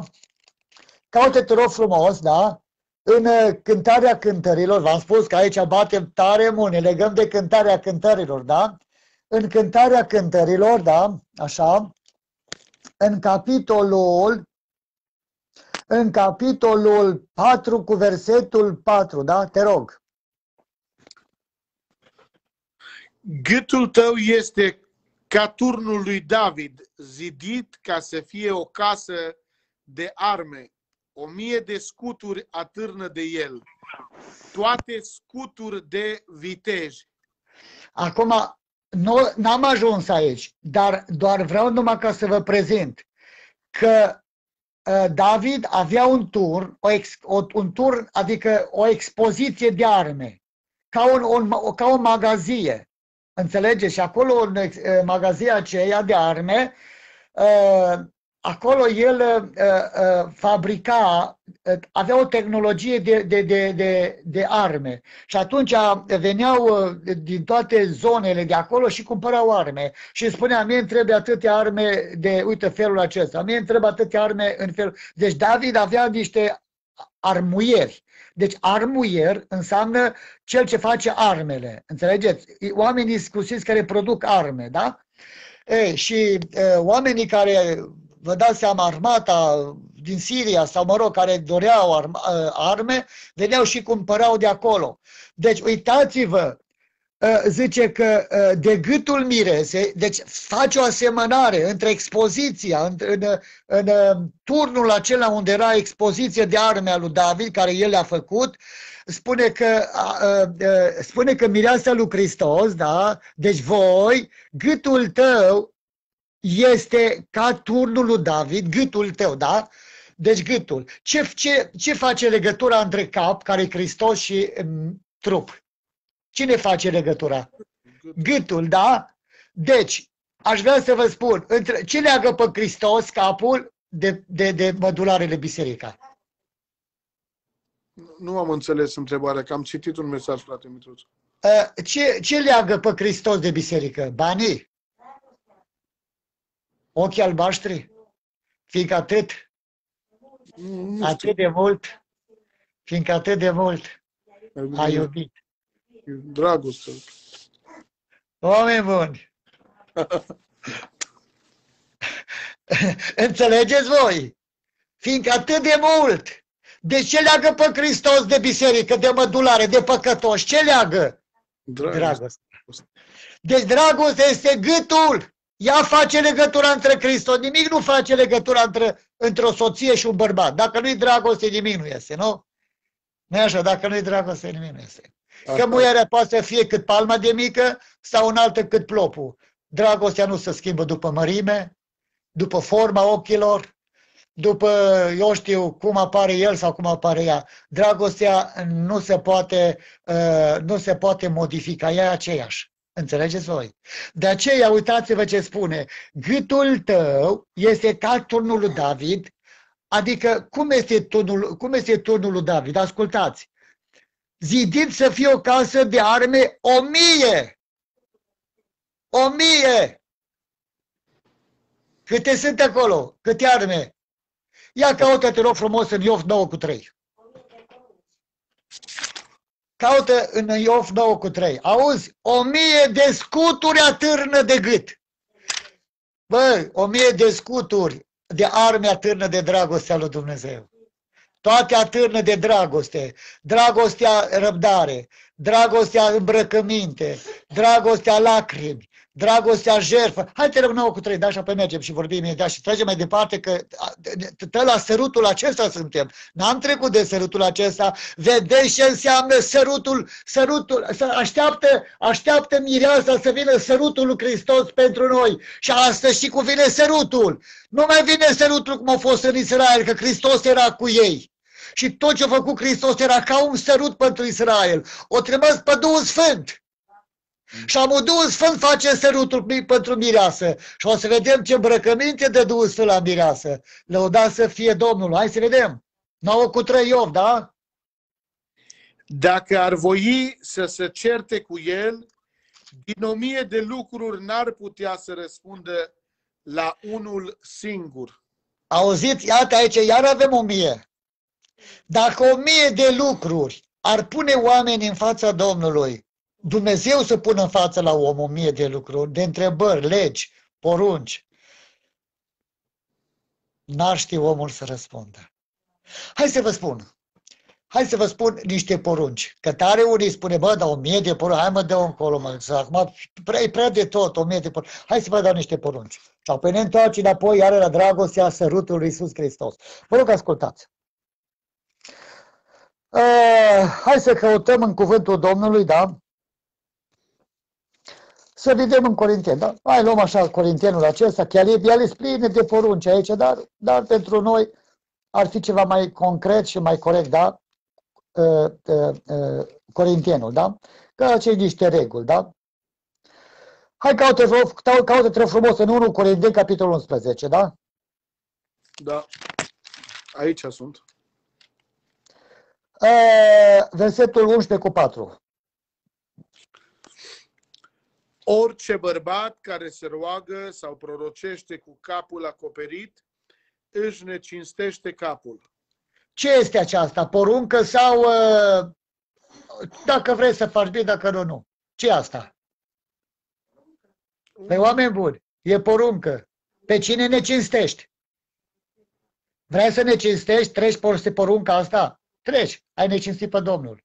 Domnul. Vedeți că bărbatul trebuie ca să roage Domnul cu capul descoperit?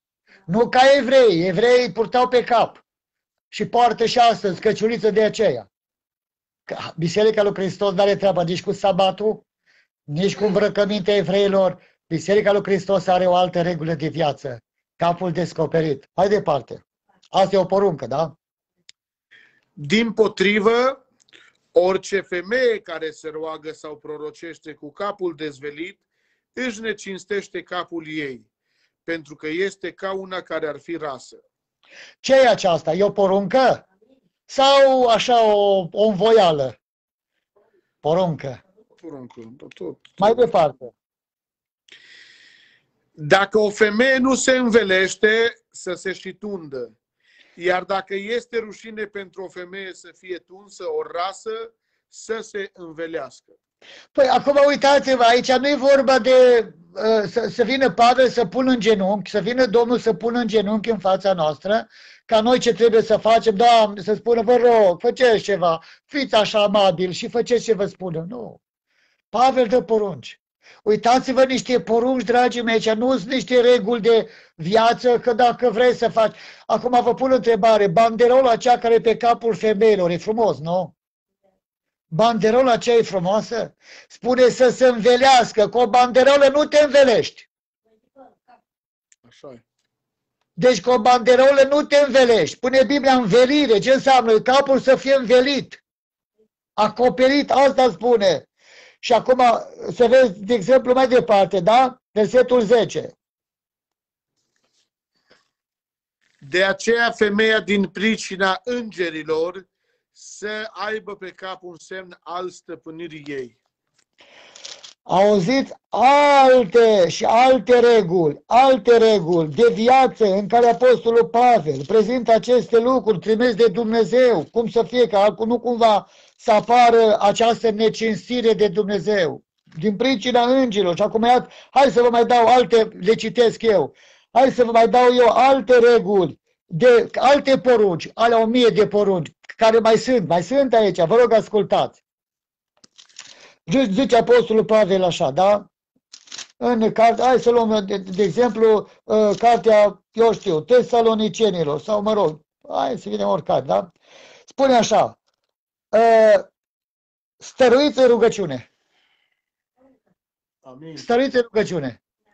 Și dacă nu stăruiești în rugăciune, ce, ai, ce s-a întâmplat cu tine? Ai călcat porunca. Să stăruiești în rugăciune. Ce înseamnă a stărui? Însemnează rugăciune necurmată. Rugăciune necurmată. Și dacă nu faci necurmat, ai călcat porunca. Altă, altă poruncă. Vegheați cu ea cu mulțămiri. Altă poruncă. Câți oameni mulțumește Domnului? Noi suntem cerșetori și nu mă cerem. Doamne, dăm, Doamne, făm, Doamne, ajută-mă. Dar cine mulțumește Domnului? Știți că există Duhul mulțămirii? Și dacă nu cer de la Dumnezeu să-ți dea Duhul mulțumirii, să spui mulțumesc de noaptea care a trecut, Îți mulțumesc de inima care bate, îți mulțumesc de picioarele mele că merge. Mulțumesc, Doamne, că focul în casa mea nu s-a prins. N-ai lăsat focul să aprinde în casa mea cum s-a întâmplat în altele. Ne-a lăsat, Doamne, noaptea să se întâmple ceva, eu știu, să mi se fure ceva din casă sau din, din, din gosp. Mulțumirile acestea au neîncetat. Deci, astea porunci. Rugați-vă totodată și pentru noi. Auzi, trebuie rugăciuni făcute pentru Sfinții lui Dumnezeu. E altă poruncă. Altă poruncă, spune așa așa, zice, purtați-vă cu înțelepciune față de cei de afară și tu cei față de cei de afară tu glumești. Tu ești un om ca și ei, râs ca și cu ei, ești îmbrăcat în blugi, o săracul oameni, săracul pocăit, săraca pocăită, în blugi, față de lume și așa merge parce. Bancă să mai poartă cu blugii și tăiați și dacă ar veni uh, Tabita aceea care, o, care spunea că făcea, era textilistă, era Uh, era o femeie care lucra la, făcea haine cu acul și cu ața și le vindea, le dădea numele Domnului. Eu cred că dacă ar învia Tabita, să le mai coase blugi la unii care le sunt tăiați, care umblă aiurea, frații noștri și surorile noastre în blugi. Blugii nu sunt pentru pocăiți. După cum nici cafa nu-i pentru pocăiți, după cum nici părul tăia nu-i pentru pocăiți, după cum nici televizorul nu pentru pocăiți și multe alte nu sunt pentru pocăiți. Și atunci te miri, de ce n-ai har la rugăciune? Ne rugăm și Dumnezeu nu ne răspunde la rugăciunile noastre? Și când cerem de la Dumnezeu nu ne răspunde. De ce? Pentru că, uitați, suntem corigenți, avem corigenți. Au ce spune? Purtați-vă cu înțelepciune. De ce spune cu înțelepciune? Să nu se potignească ăștia din lume din cauza noastră. Să nu se mai poată pocăi. E o poruncă de la Dumnezeu prin, care vine prin Apostolul Pavel. Răscumpărați vremea. Ce înseamnă să răscumpărați vremea? Ai pierdut multe vreme când ai stat acasă 3-4 luni că ți-ai mânia pe cineva și nu mai vine la biserică. Acum caută și vin o regulă la biserică. Că nu mă împing dacă s-o uita, s-o jâmbat, s-o jâmbat cineva cătăcine, ne-am mai mers la biserică și o spune să mai meargă ei la adunare, că eu nu mai mă duc. Ai pierdut atâția seri, atâția rugăciuni și în rugăciunile acelea care tu ai absentat în biserică, o, trebuia să fie mulțămiri la adresa lui Dumnezeu și ai știrbit mulțămirile că nu le-ai dus în fața Domnului, că ai stat acasă și te la televizor și ai spus, nu mai mă duc la adunare, n-are rost. Și tu în acele trei săptămâni sau trei luni cât ai stat acasă, N-ai mai mulțumit Domnului, ai fost mut, ai fost absent, gura ta a fost închisă și n-ai mai deschis gura în biserică să lauzi pe Domnul cu o cântare sau cu alta, că ți-ai încăpățânat și n-ai mai mă la biserică. Și de aia spune Pavel, răscumpărat, vremea pierdută, răscumpără-o. Caut-o și du înapoi ce ai pierdut. Asta înseamnă să răscumperi, ca să nu mai pierzi nimic, ca o altă poruncă cu, cu privire la, la, la, la, la, la aceste lucruri, despre, despre noi și despre aceste lucruri. Spune Biblia acum, dar acum lăsați-vă de toate aceste lucruri, de mânie, de vrăjmășie, de răutate, de crevetire, de vorbire de vorbe rușinoase, care v-ar putea ieși. Auzi aici vreo 8, 9, 10 porunci. Auzi, 8-10 porunci, ce numai la versetul ăsta sunt. Și frate spune, unde vezi frate porunci? Dacă n-ai al treilea ochi, ești orb. Îmi pare foarte rău, ești orb. Și n-are rost, și n-are rost ca să putem să vorbim despre aceste lucruri. Dacă tu nu ai al treilea ochi, să vezi că toate, toate, tot Noul Testament este numai porunci. Înțelegeți voi? Bun. Hai că mergem mai departe să vorbim despre un alt lucru nou, da? Despre un alt lucru nou despre care Biblia îl prezintă, da? Hai să-l găsim în cuvântul Domnului în 2 Corinteni 5 cu versetul 17, da? Hai să vedem. 2 Corinteni, capitolul 5 cu versetul 17, da? Da. Căci dacă este cineva în Hristos, este o făptură nouă. Cele vechi s-au dus. Iată că toate lucrurile s-au făcut noi. Observați, cine face făptura nouă, vă dați seama, trebuie să ai niște nașteri. Și aceste nașteri sunt în număr de cinci. Nașterea din apă, nașterea din nou, nașterea din, din Dumnezeu, nașterea din cuvânt, toate acestea sunt cinci nașteri care n-are rost să vi l spun acum, că nu aceasta e important. Hai să vă spun o altă, o altă, o alt lucru nou care l-a făcut Dumnezeu sub ceruri, este arătat în uh, Ioan capitolul 13 cu 34. Deci o altă naș- o altă, un, un alt lucru nou care n-a existat în vechime. N-a existat. Și apoi mergem mai departe, da? Deci un alt lucru nou pe care în Vechiul Testament, în vechea, nu, nu era, ci era altceva pus, da? Hai să vedem care este. Ioan 13 cu versetul 34, da? Acum mă duc contul.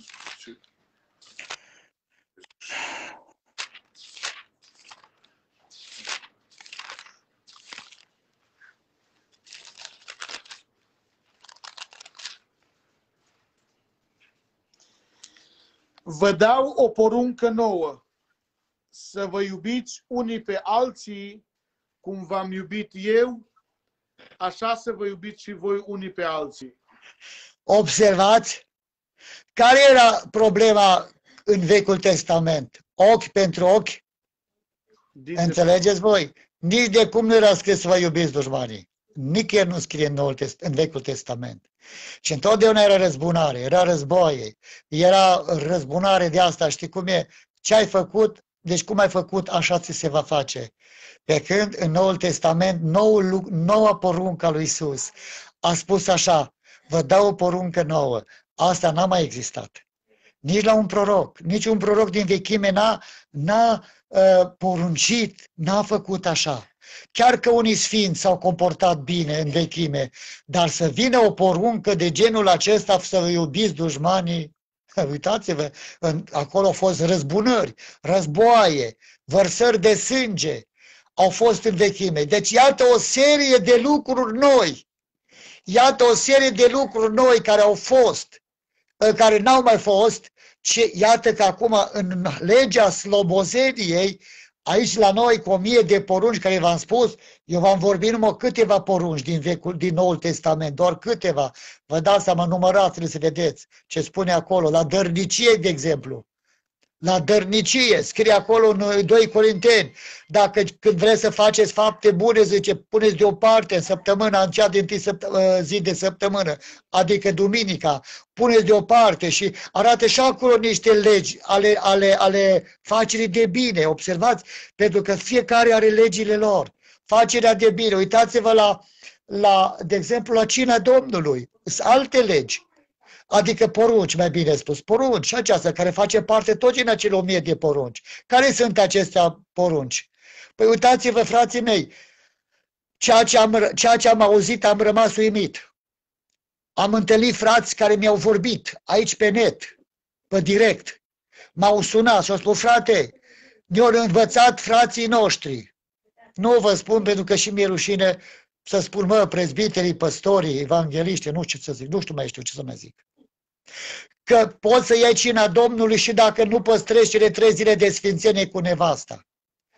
Mai oameni buni, dar chiar așa îți bate joc de, de, de, de trupul și sângele Domnului, tu frate, nu e păcat. faci baie și nu e păcat. Păi mă, oameni buni, hai să vă spun și regula aceasta, că uite, mulți nu o știe. Și aș vrea ca frații mei care, care sunt pe direct aici cu mine, aș vrea ca să înțeleagă cele trei zile de sfințenie că e biblic. Acum, dacă chiar nu mă duc în Biblie să vă prezint, dar vă spun verbal, eu cred că voi mă înțelegeți ca și tip Biblia acolo. Și dacă nu mergeți în Exod, mergeți în cartea Exodului, acolo unde, unde scrie la ieșirea lui Israel din Egipt, undeva, undeva pe la capitolul 20, să vedeți ce scrie acolo, despre păzirea Paștelor. Hai să vă spun, frații mei. Spune așa, în cea din tâi, în, în, zi, în luna 10, în ziua 10 în luna întâi, fiecare dintre voi să ia câte un miel, deci dintre familii, da? Fiecare familie să ia câte un miel, da? Și să-l păstrați mielul acesta în familiile voastre până în ziua 14 În ziua 14 este Paștele Domnului. Să fie sacrificat, adică tăiat, mâncat, prăjit. Da? Vă pun întrebarea. Acum, din ziua 10, îl păstrezi în casa ta. Nu urmezi să-l cumperi de Paști. Biblia scrie în ziua 10 să-l cumperi, să-l duci în casa ta.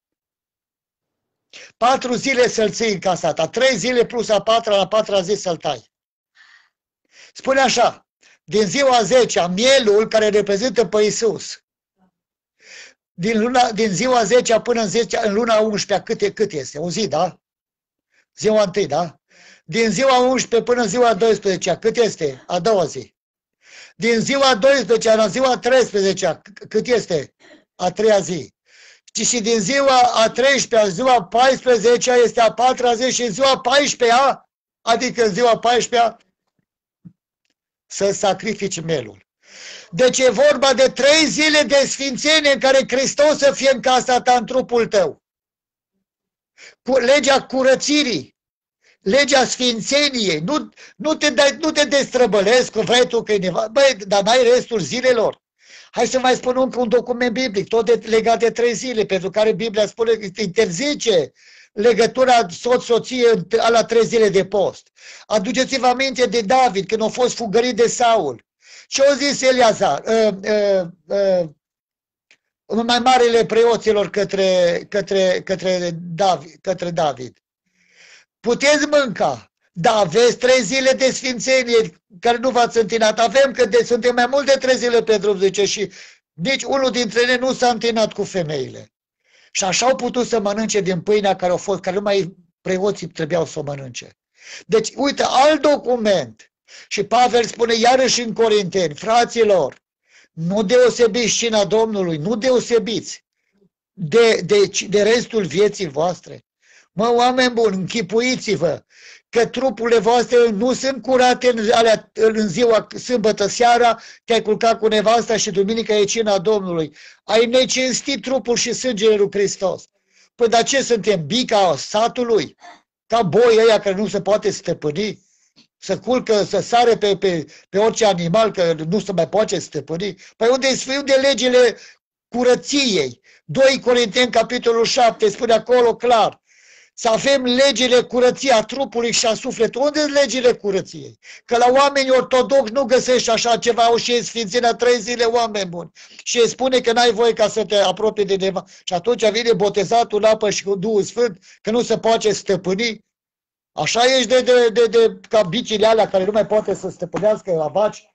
Așa mai departe, iertați-mă că vă spun treaba aceasta. Deci vreau să vă spun, nu există să te apropii de trupul și sângele Domnului și să încurajezi astfel de lucruri în alea trei zile să te culci cu nevasta ta. Înseamnă că ești păgân. Ia du-te mâncă, oricine ai fi.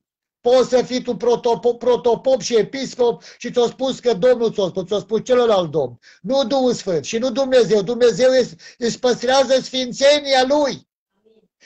Vă mai dau un al treilea exemplu și apoi mereu mai departe la textul nostru. Ce a spus Domnul Exod, capitolul 20? O zic către Moise așa, spune poporului trei zile să se sfințească și să spele hainile, să schimbă hainele și apoi să vină la, la, la, la să asculce ă, la, la, la munce acolo, să asculce cuvântul meu, la legile mele. Auzi numai că au ascultat cu recea.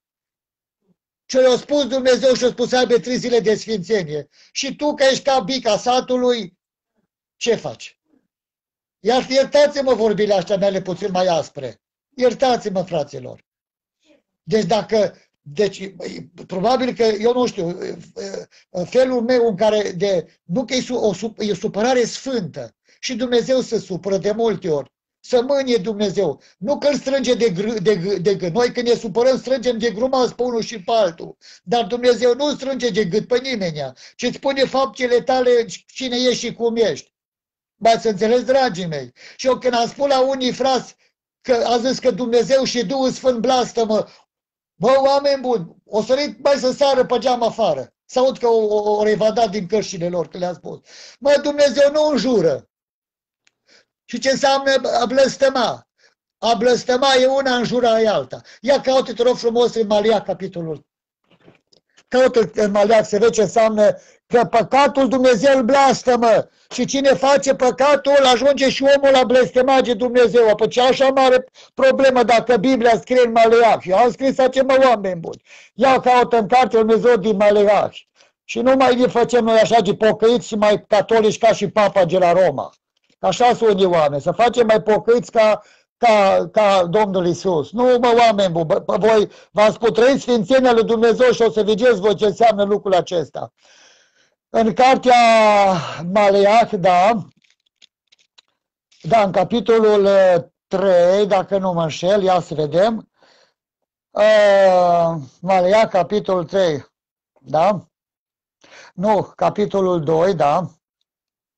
Văd și la capitolul 3, versetul 9, sunteți blestemați câtă vreme căutați să mă înșelați. Nu știu dacă e ăsta... Da, și acolo, dar mă va mai da încă ceva, încă un cuvânt din partea Domnului, da? Da? Da, Maleah, imediat. Da, caută cu versetul 1, da, Maleah, da, capitolul 2, da? Capitolul 2, versetul 1. Da, mulțumesc. Acum către voi se îndreaptă porunca aceasta preoților. Dacă nu veți asculta, dacă nu vă veți pune în inima, în inima ca să dați slavă numelui meu, zice Domnul știrilor, voi arunca în voi blestemul și voi blestema binecuvântările voastre. Auzi ce face Dumnezeu? Dumnezeu ne blastămă, Duhul Sfânt ne blastămă, Iisus ne blastămă. Pentru că păcatul, dacă tu faci, Dumnezeu blastămă tot de la cine. Și atunci, dacă tu, dacă tu hulești pe Duhul Sfânt, dacă tu hulești pe Tatăl Ceresc, legile lor, vrei binecuvântare? Oare nu-ți dă Dumnezeu blestemul? Au ce spune? Am să vă blastăm binecuvântările voastre.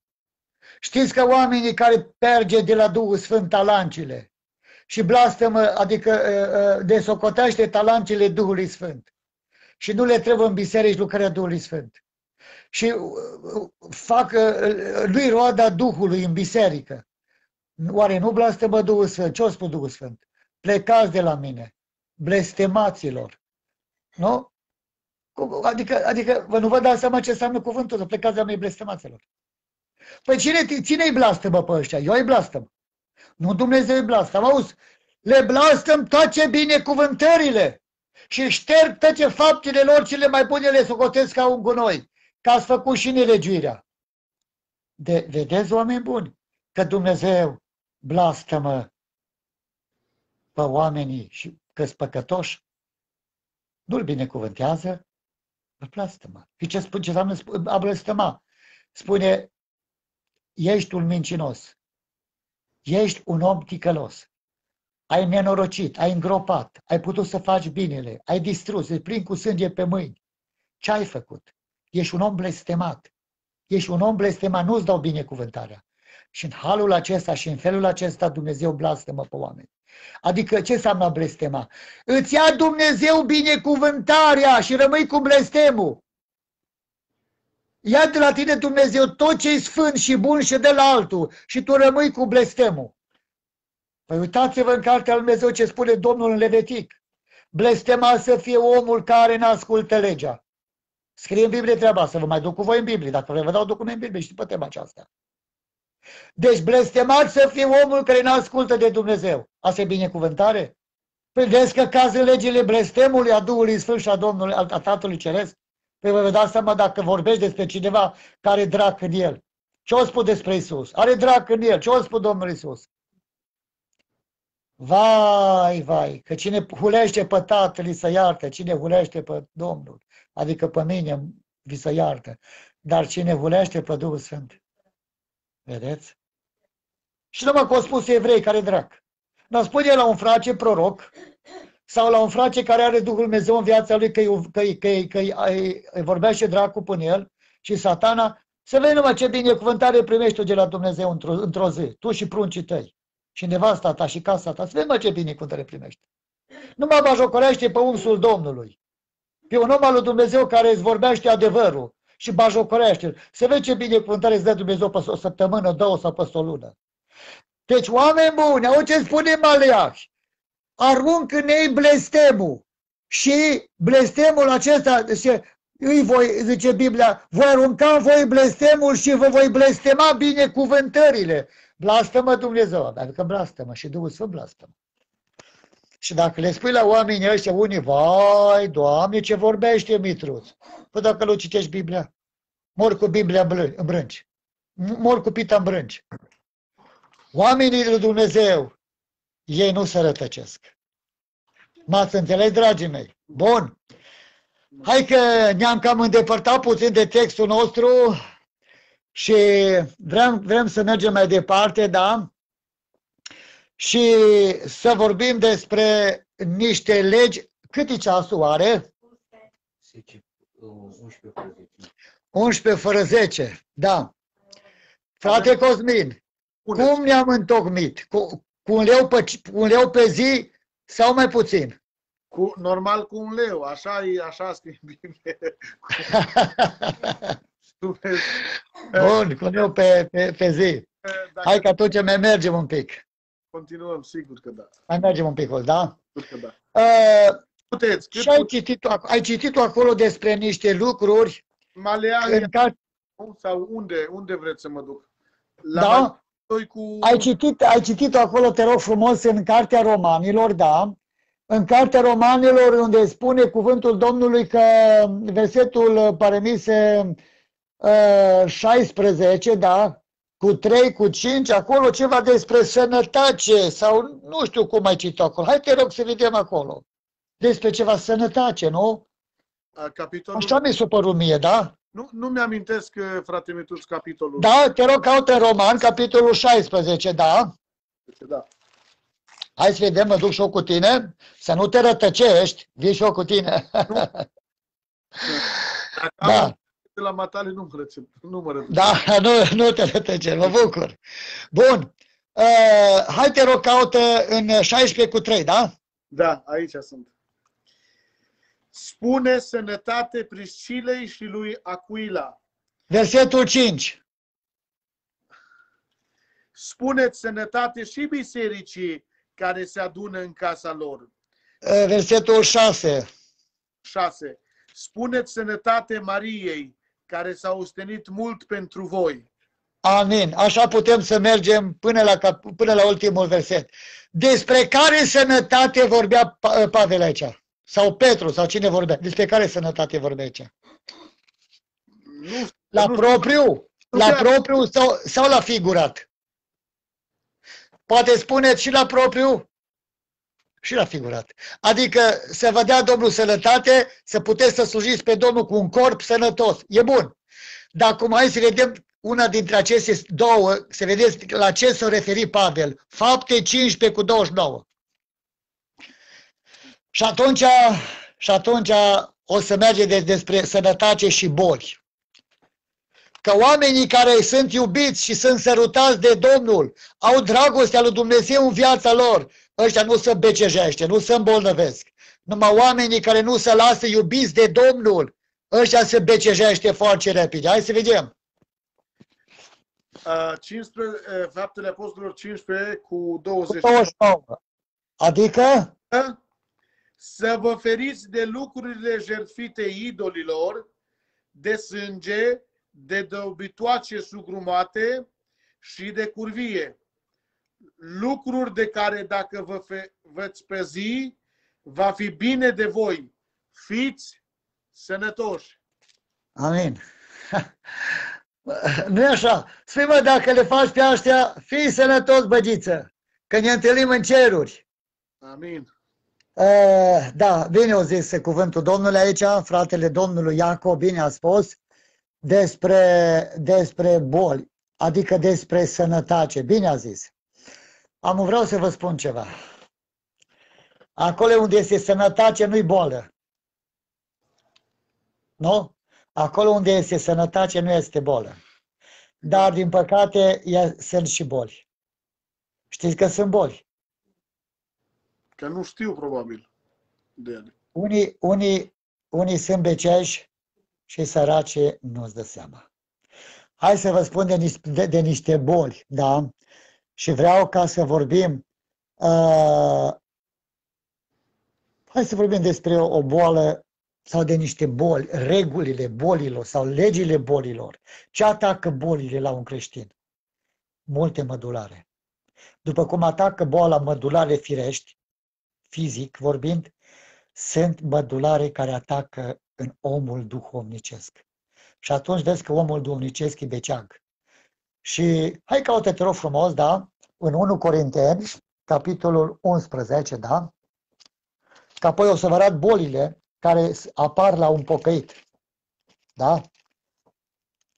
1 Corinteni, capitolul 11, da, cu versetul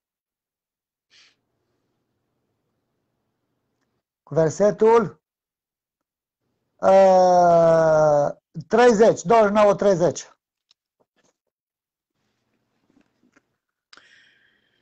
Căci cine mănâncă și bea, își mănâncă și beau sânda lui însuși, dacă nu deosebește trupul Domnului. Din pricina aceasta sunt între voi mulți necredin, neputincioși și bolnavi și nu puțin dorm.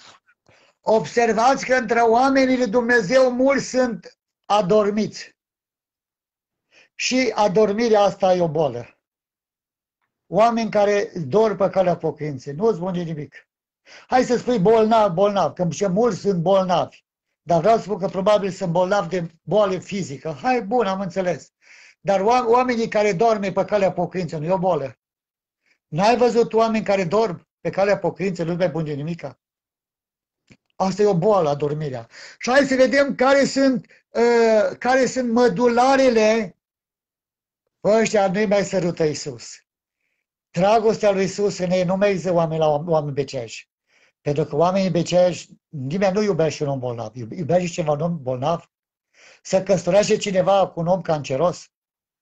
Probabil dacă e bancheră și are bani, bă, ce căsătorește și moare în două minute și rămâne banii ție. Dar cu un om bolnav, eu nu cred că nimeni nu se, nu se, nu se îndrăgostește ca să poată să se căsătorească. Spui, mă, lasă să facă bine, să fie sănătos și apoi mai vige noi.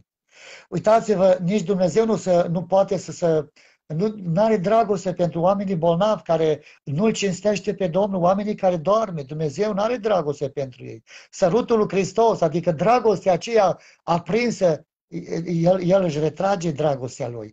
Hai să vedem niște boli care apar în, în, la, la oameni. Te rog frumos, caută, te rog frumos, boala ochilor. Isaia 59 cu 10, boala ochilor. Ăștia e o, e o muiere sau o nevastă sau o mireasă mioapă. Știți cine a fost mioapă în Biblie? Cine a fost, cine a fost mioapă în, în, în Biblie? Și uh, săracul Iacov a iubit o păsorță, că a fost frumoasă. Asta la alte, Leia, a fost mioapă, a fost cam orbulească, știi? Păi cine, cum o chemat-o? Leia! Nu mai știu, Lea. Nu... Lea o chemat, așa o chemat-o, Lea. Spune că avea ochii slabi, avea ochii slabi, era mioapă, nu vedea bine, da? Și spune că o iubit așa la comandă, nu că avea, avea așa cum avea pentru asta la altă, nu? Hai să vedem, da? Boala ochilor, Isaia 59 cu 10, da? Uitați-vă la oameni boli, boli ale, ale, ale ochilor, da? Bâșbâim ca niște orbi de-a lungul unui zid. bâșbâim ca cei ce n-au ochi, ne poticnim ziua în amiază mare ca noaptea în mijlocul celor sănătoși. Suntem ca niște morți. A- Ați văzut că orbii sunt ca niște morți? N-ați văzut, dragii mei? Bolile de ochi sunt ăia acele boli care vezi pe toată lumea rău, numai tu ești bun. Ai privirea aceea așa de zdremțuită, înțelegi?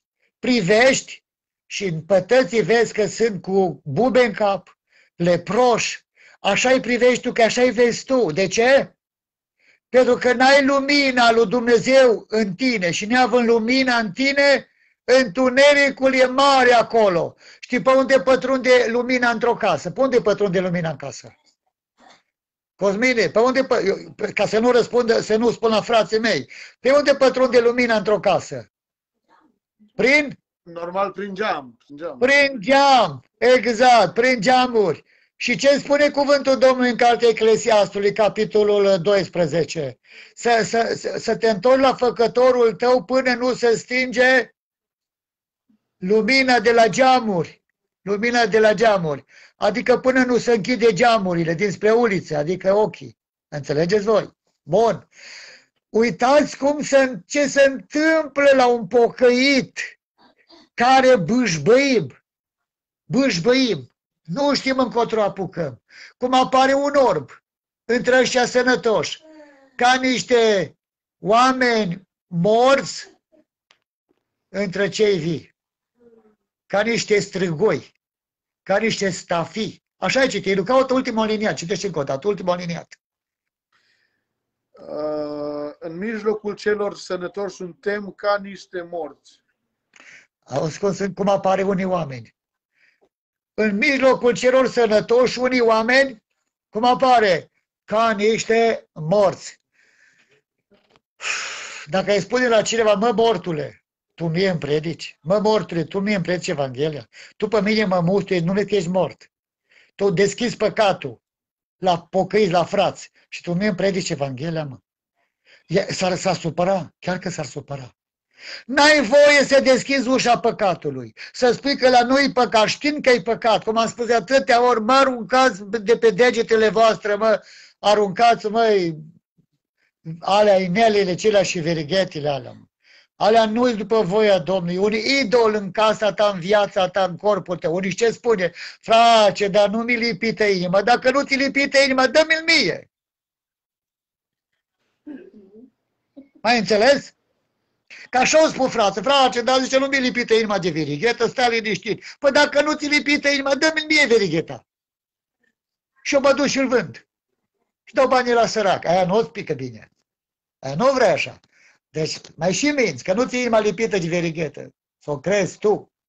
Deci, iată, iată o boală a ochilor. Hai te rog frumos, caută în Apocalips, capitolul 3 cu 18.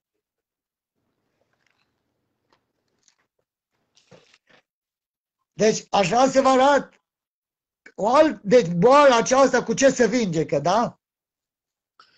Boală de ochi. Apocalips 3 cu 18, da? Citesc. Da. Te sfătuiesc să cumperi de la mine aur curățat prin foc, ca să te îmbogățești, și haine albe, ca să te îmbraci cu ele și să nu ți se vadă rușinea goliciunii tale, și doctorie pentru ochi, ca să-ți ungi ochii și să vezi. Vreau să vă întreb ceva. Care este doctoria cea pentru ochi? Că și eu aș vrea să, să văd bine să nu mai port oceanii ăștia pe ochi. Bicicleta, bicicleta asta cu două roți, să nu mai port pe ochi. Înțelegeți voi? Care e doctoria aceea? Hai să vă spun. Vă aduceți aminte când orbul acela a venit la Isus și a spus, Doamne, dacă vrei să mă vindeci. A luat Domnul Iisus schipit din gura lui salivă, schipat, da? A luat schipat, a făcut din imală, a făcut din, nor, din, pă- din pământ, a făcut un pic de noroi, de tină, cum zicem noi, da, imală, da? Și o pus pe ochi. Înțelegeți voi? De unde a luat Isus saliva? De unde? Din gură. Care este, un, care este uh, uh, acea alifie, acea doftorie pentru ochi. Care este? Măi, oameni buni, ce iasă din gura lui Isus. Asta este alifia, ce iasă din gura lui Isus, Biblia, cuvântul de unge-ce cu, ochii, cu, cu, cu alifia asta, cu Biblia. Să vezi că ea este un medicament pentru cine, că e cuvântul Domnului ce a ieșit din gura lui Isus, saliva aia, scuipatul ăla, și-a uns pe ochi și-a văzut. Nu așa ce iasă din gura lui Hristos, Biblia asta, cuvântul lui Dumnezeu. Unge-te cu ea și stai de vorbă cu ea și nu spune, bă, ce m-a spus păstorul, frate, nu-i păcat, soră, nu-i păcat asta. Și vine Biblia și spune păcat, am pe care credem. Am pe care credem. Vedeți, aici e greșeala noastră. Dacă Biblia spune, mă, stai trei zile în sfințire, nu te atinge de nevastă când ai, când ai, când ai uh, cina Domnului. Și vine neisprăviță ăștia și te, te, te lasă ca să, și îți dă, îți dă uh, uh, uh, acea, acea uh, uh, imboldul acela ca, și spune că fa așa, pe cum să fac, mă, nu, te, nu deosebești trupul Domnului că e sfânt? Deci asta vreau să vă spun. Ungeți-vă ochii cu alifie dacă vreți să te iubească Isus, să te sărute Isus, să te iubească Duhul lui Dumnezeu, să fie dragostea lui ca un sărut pe obrazul tău. Că așa spune Biblia, să mă sărute cu sărutările cu gurii lui. Păi dacă dragostea lui Dumnezeu nu mai ai, cine vrea să te sărute? Te sărute Iuda. Și când te sărută Iuda, vine moartea. Când, când o săruta pe Iisus, Iuda, a venit să o morții și l-a omorât pe Iisus. Nu poate să te surte Dumnezeu în fel, dacă tu nu asculți. Să, să arate Dumnezeu o dragoste fierbinte pentru tine. N-are cum. Asta înțeleg, dragii mei. Bun. Uh, aș vrea să vă spun legat de ochi. Ochii aceștia care sunt bolnavi, ei, ei pot să fie vindecați dar numai în anumite condiții. Când o ajungem la capitolul 4, o să vorbim și despre lucrurile acestea. Până atunci, mergem mai departe, da? Uh, hai să vedem uh, o altă boală, da? Vreau să vă arăt o altă boală, și anume uh, boala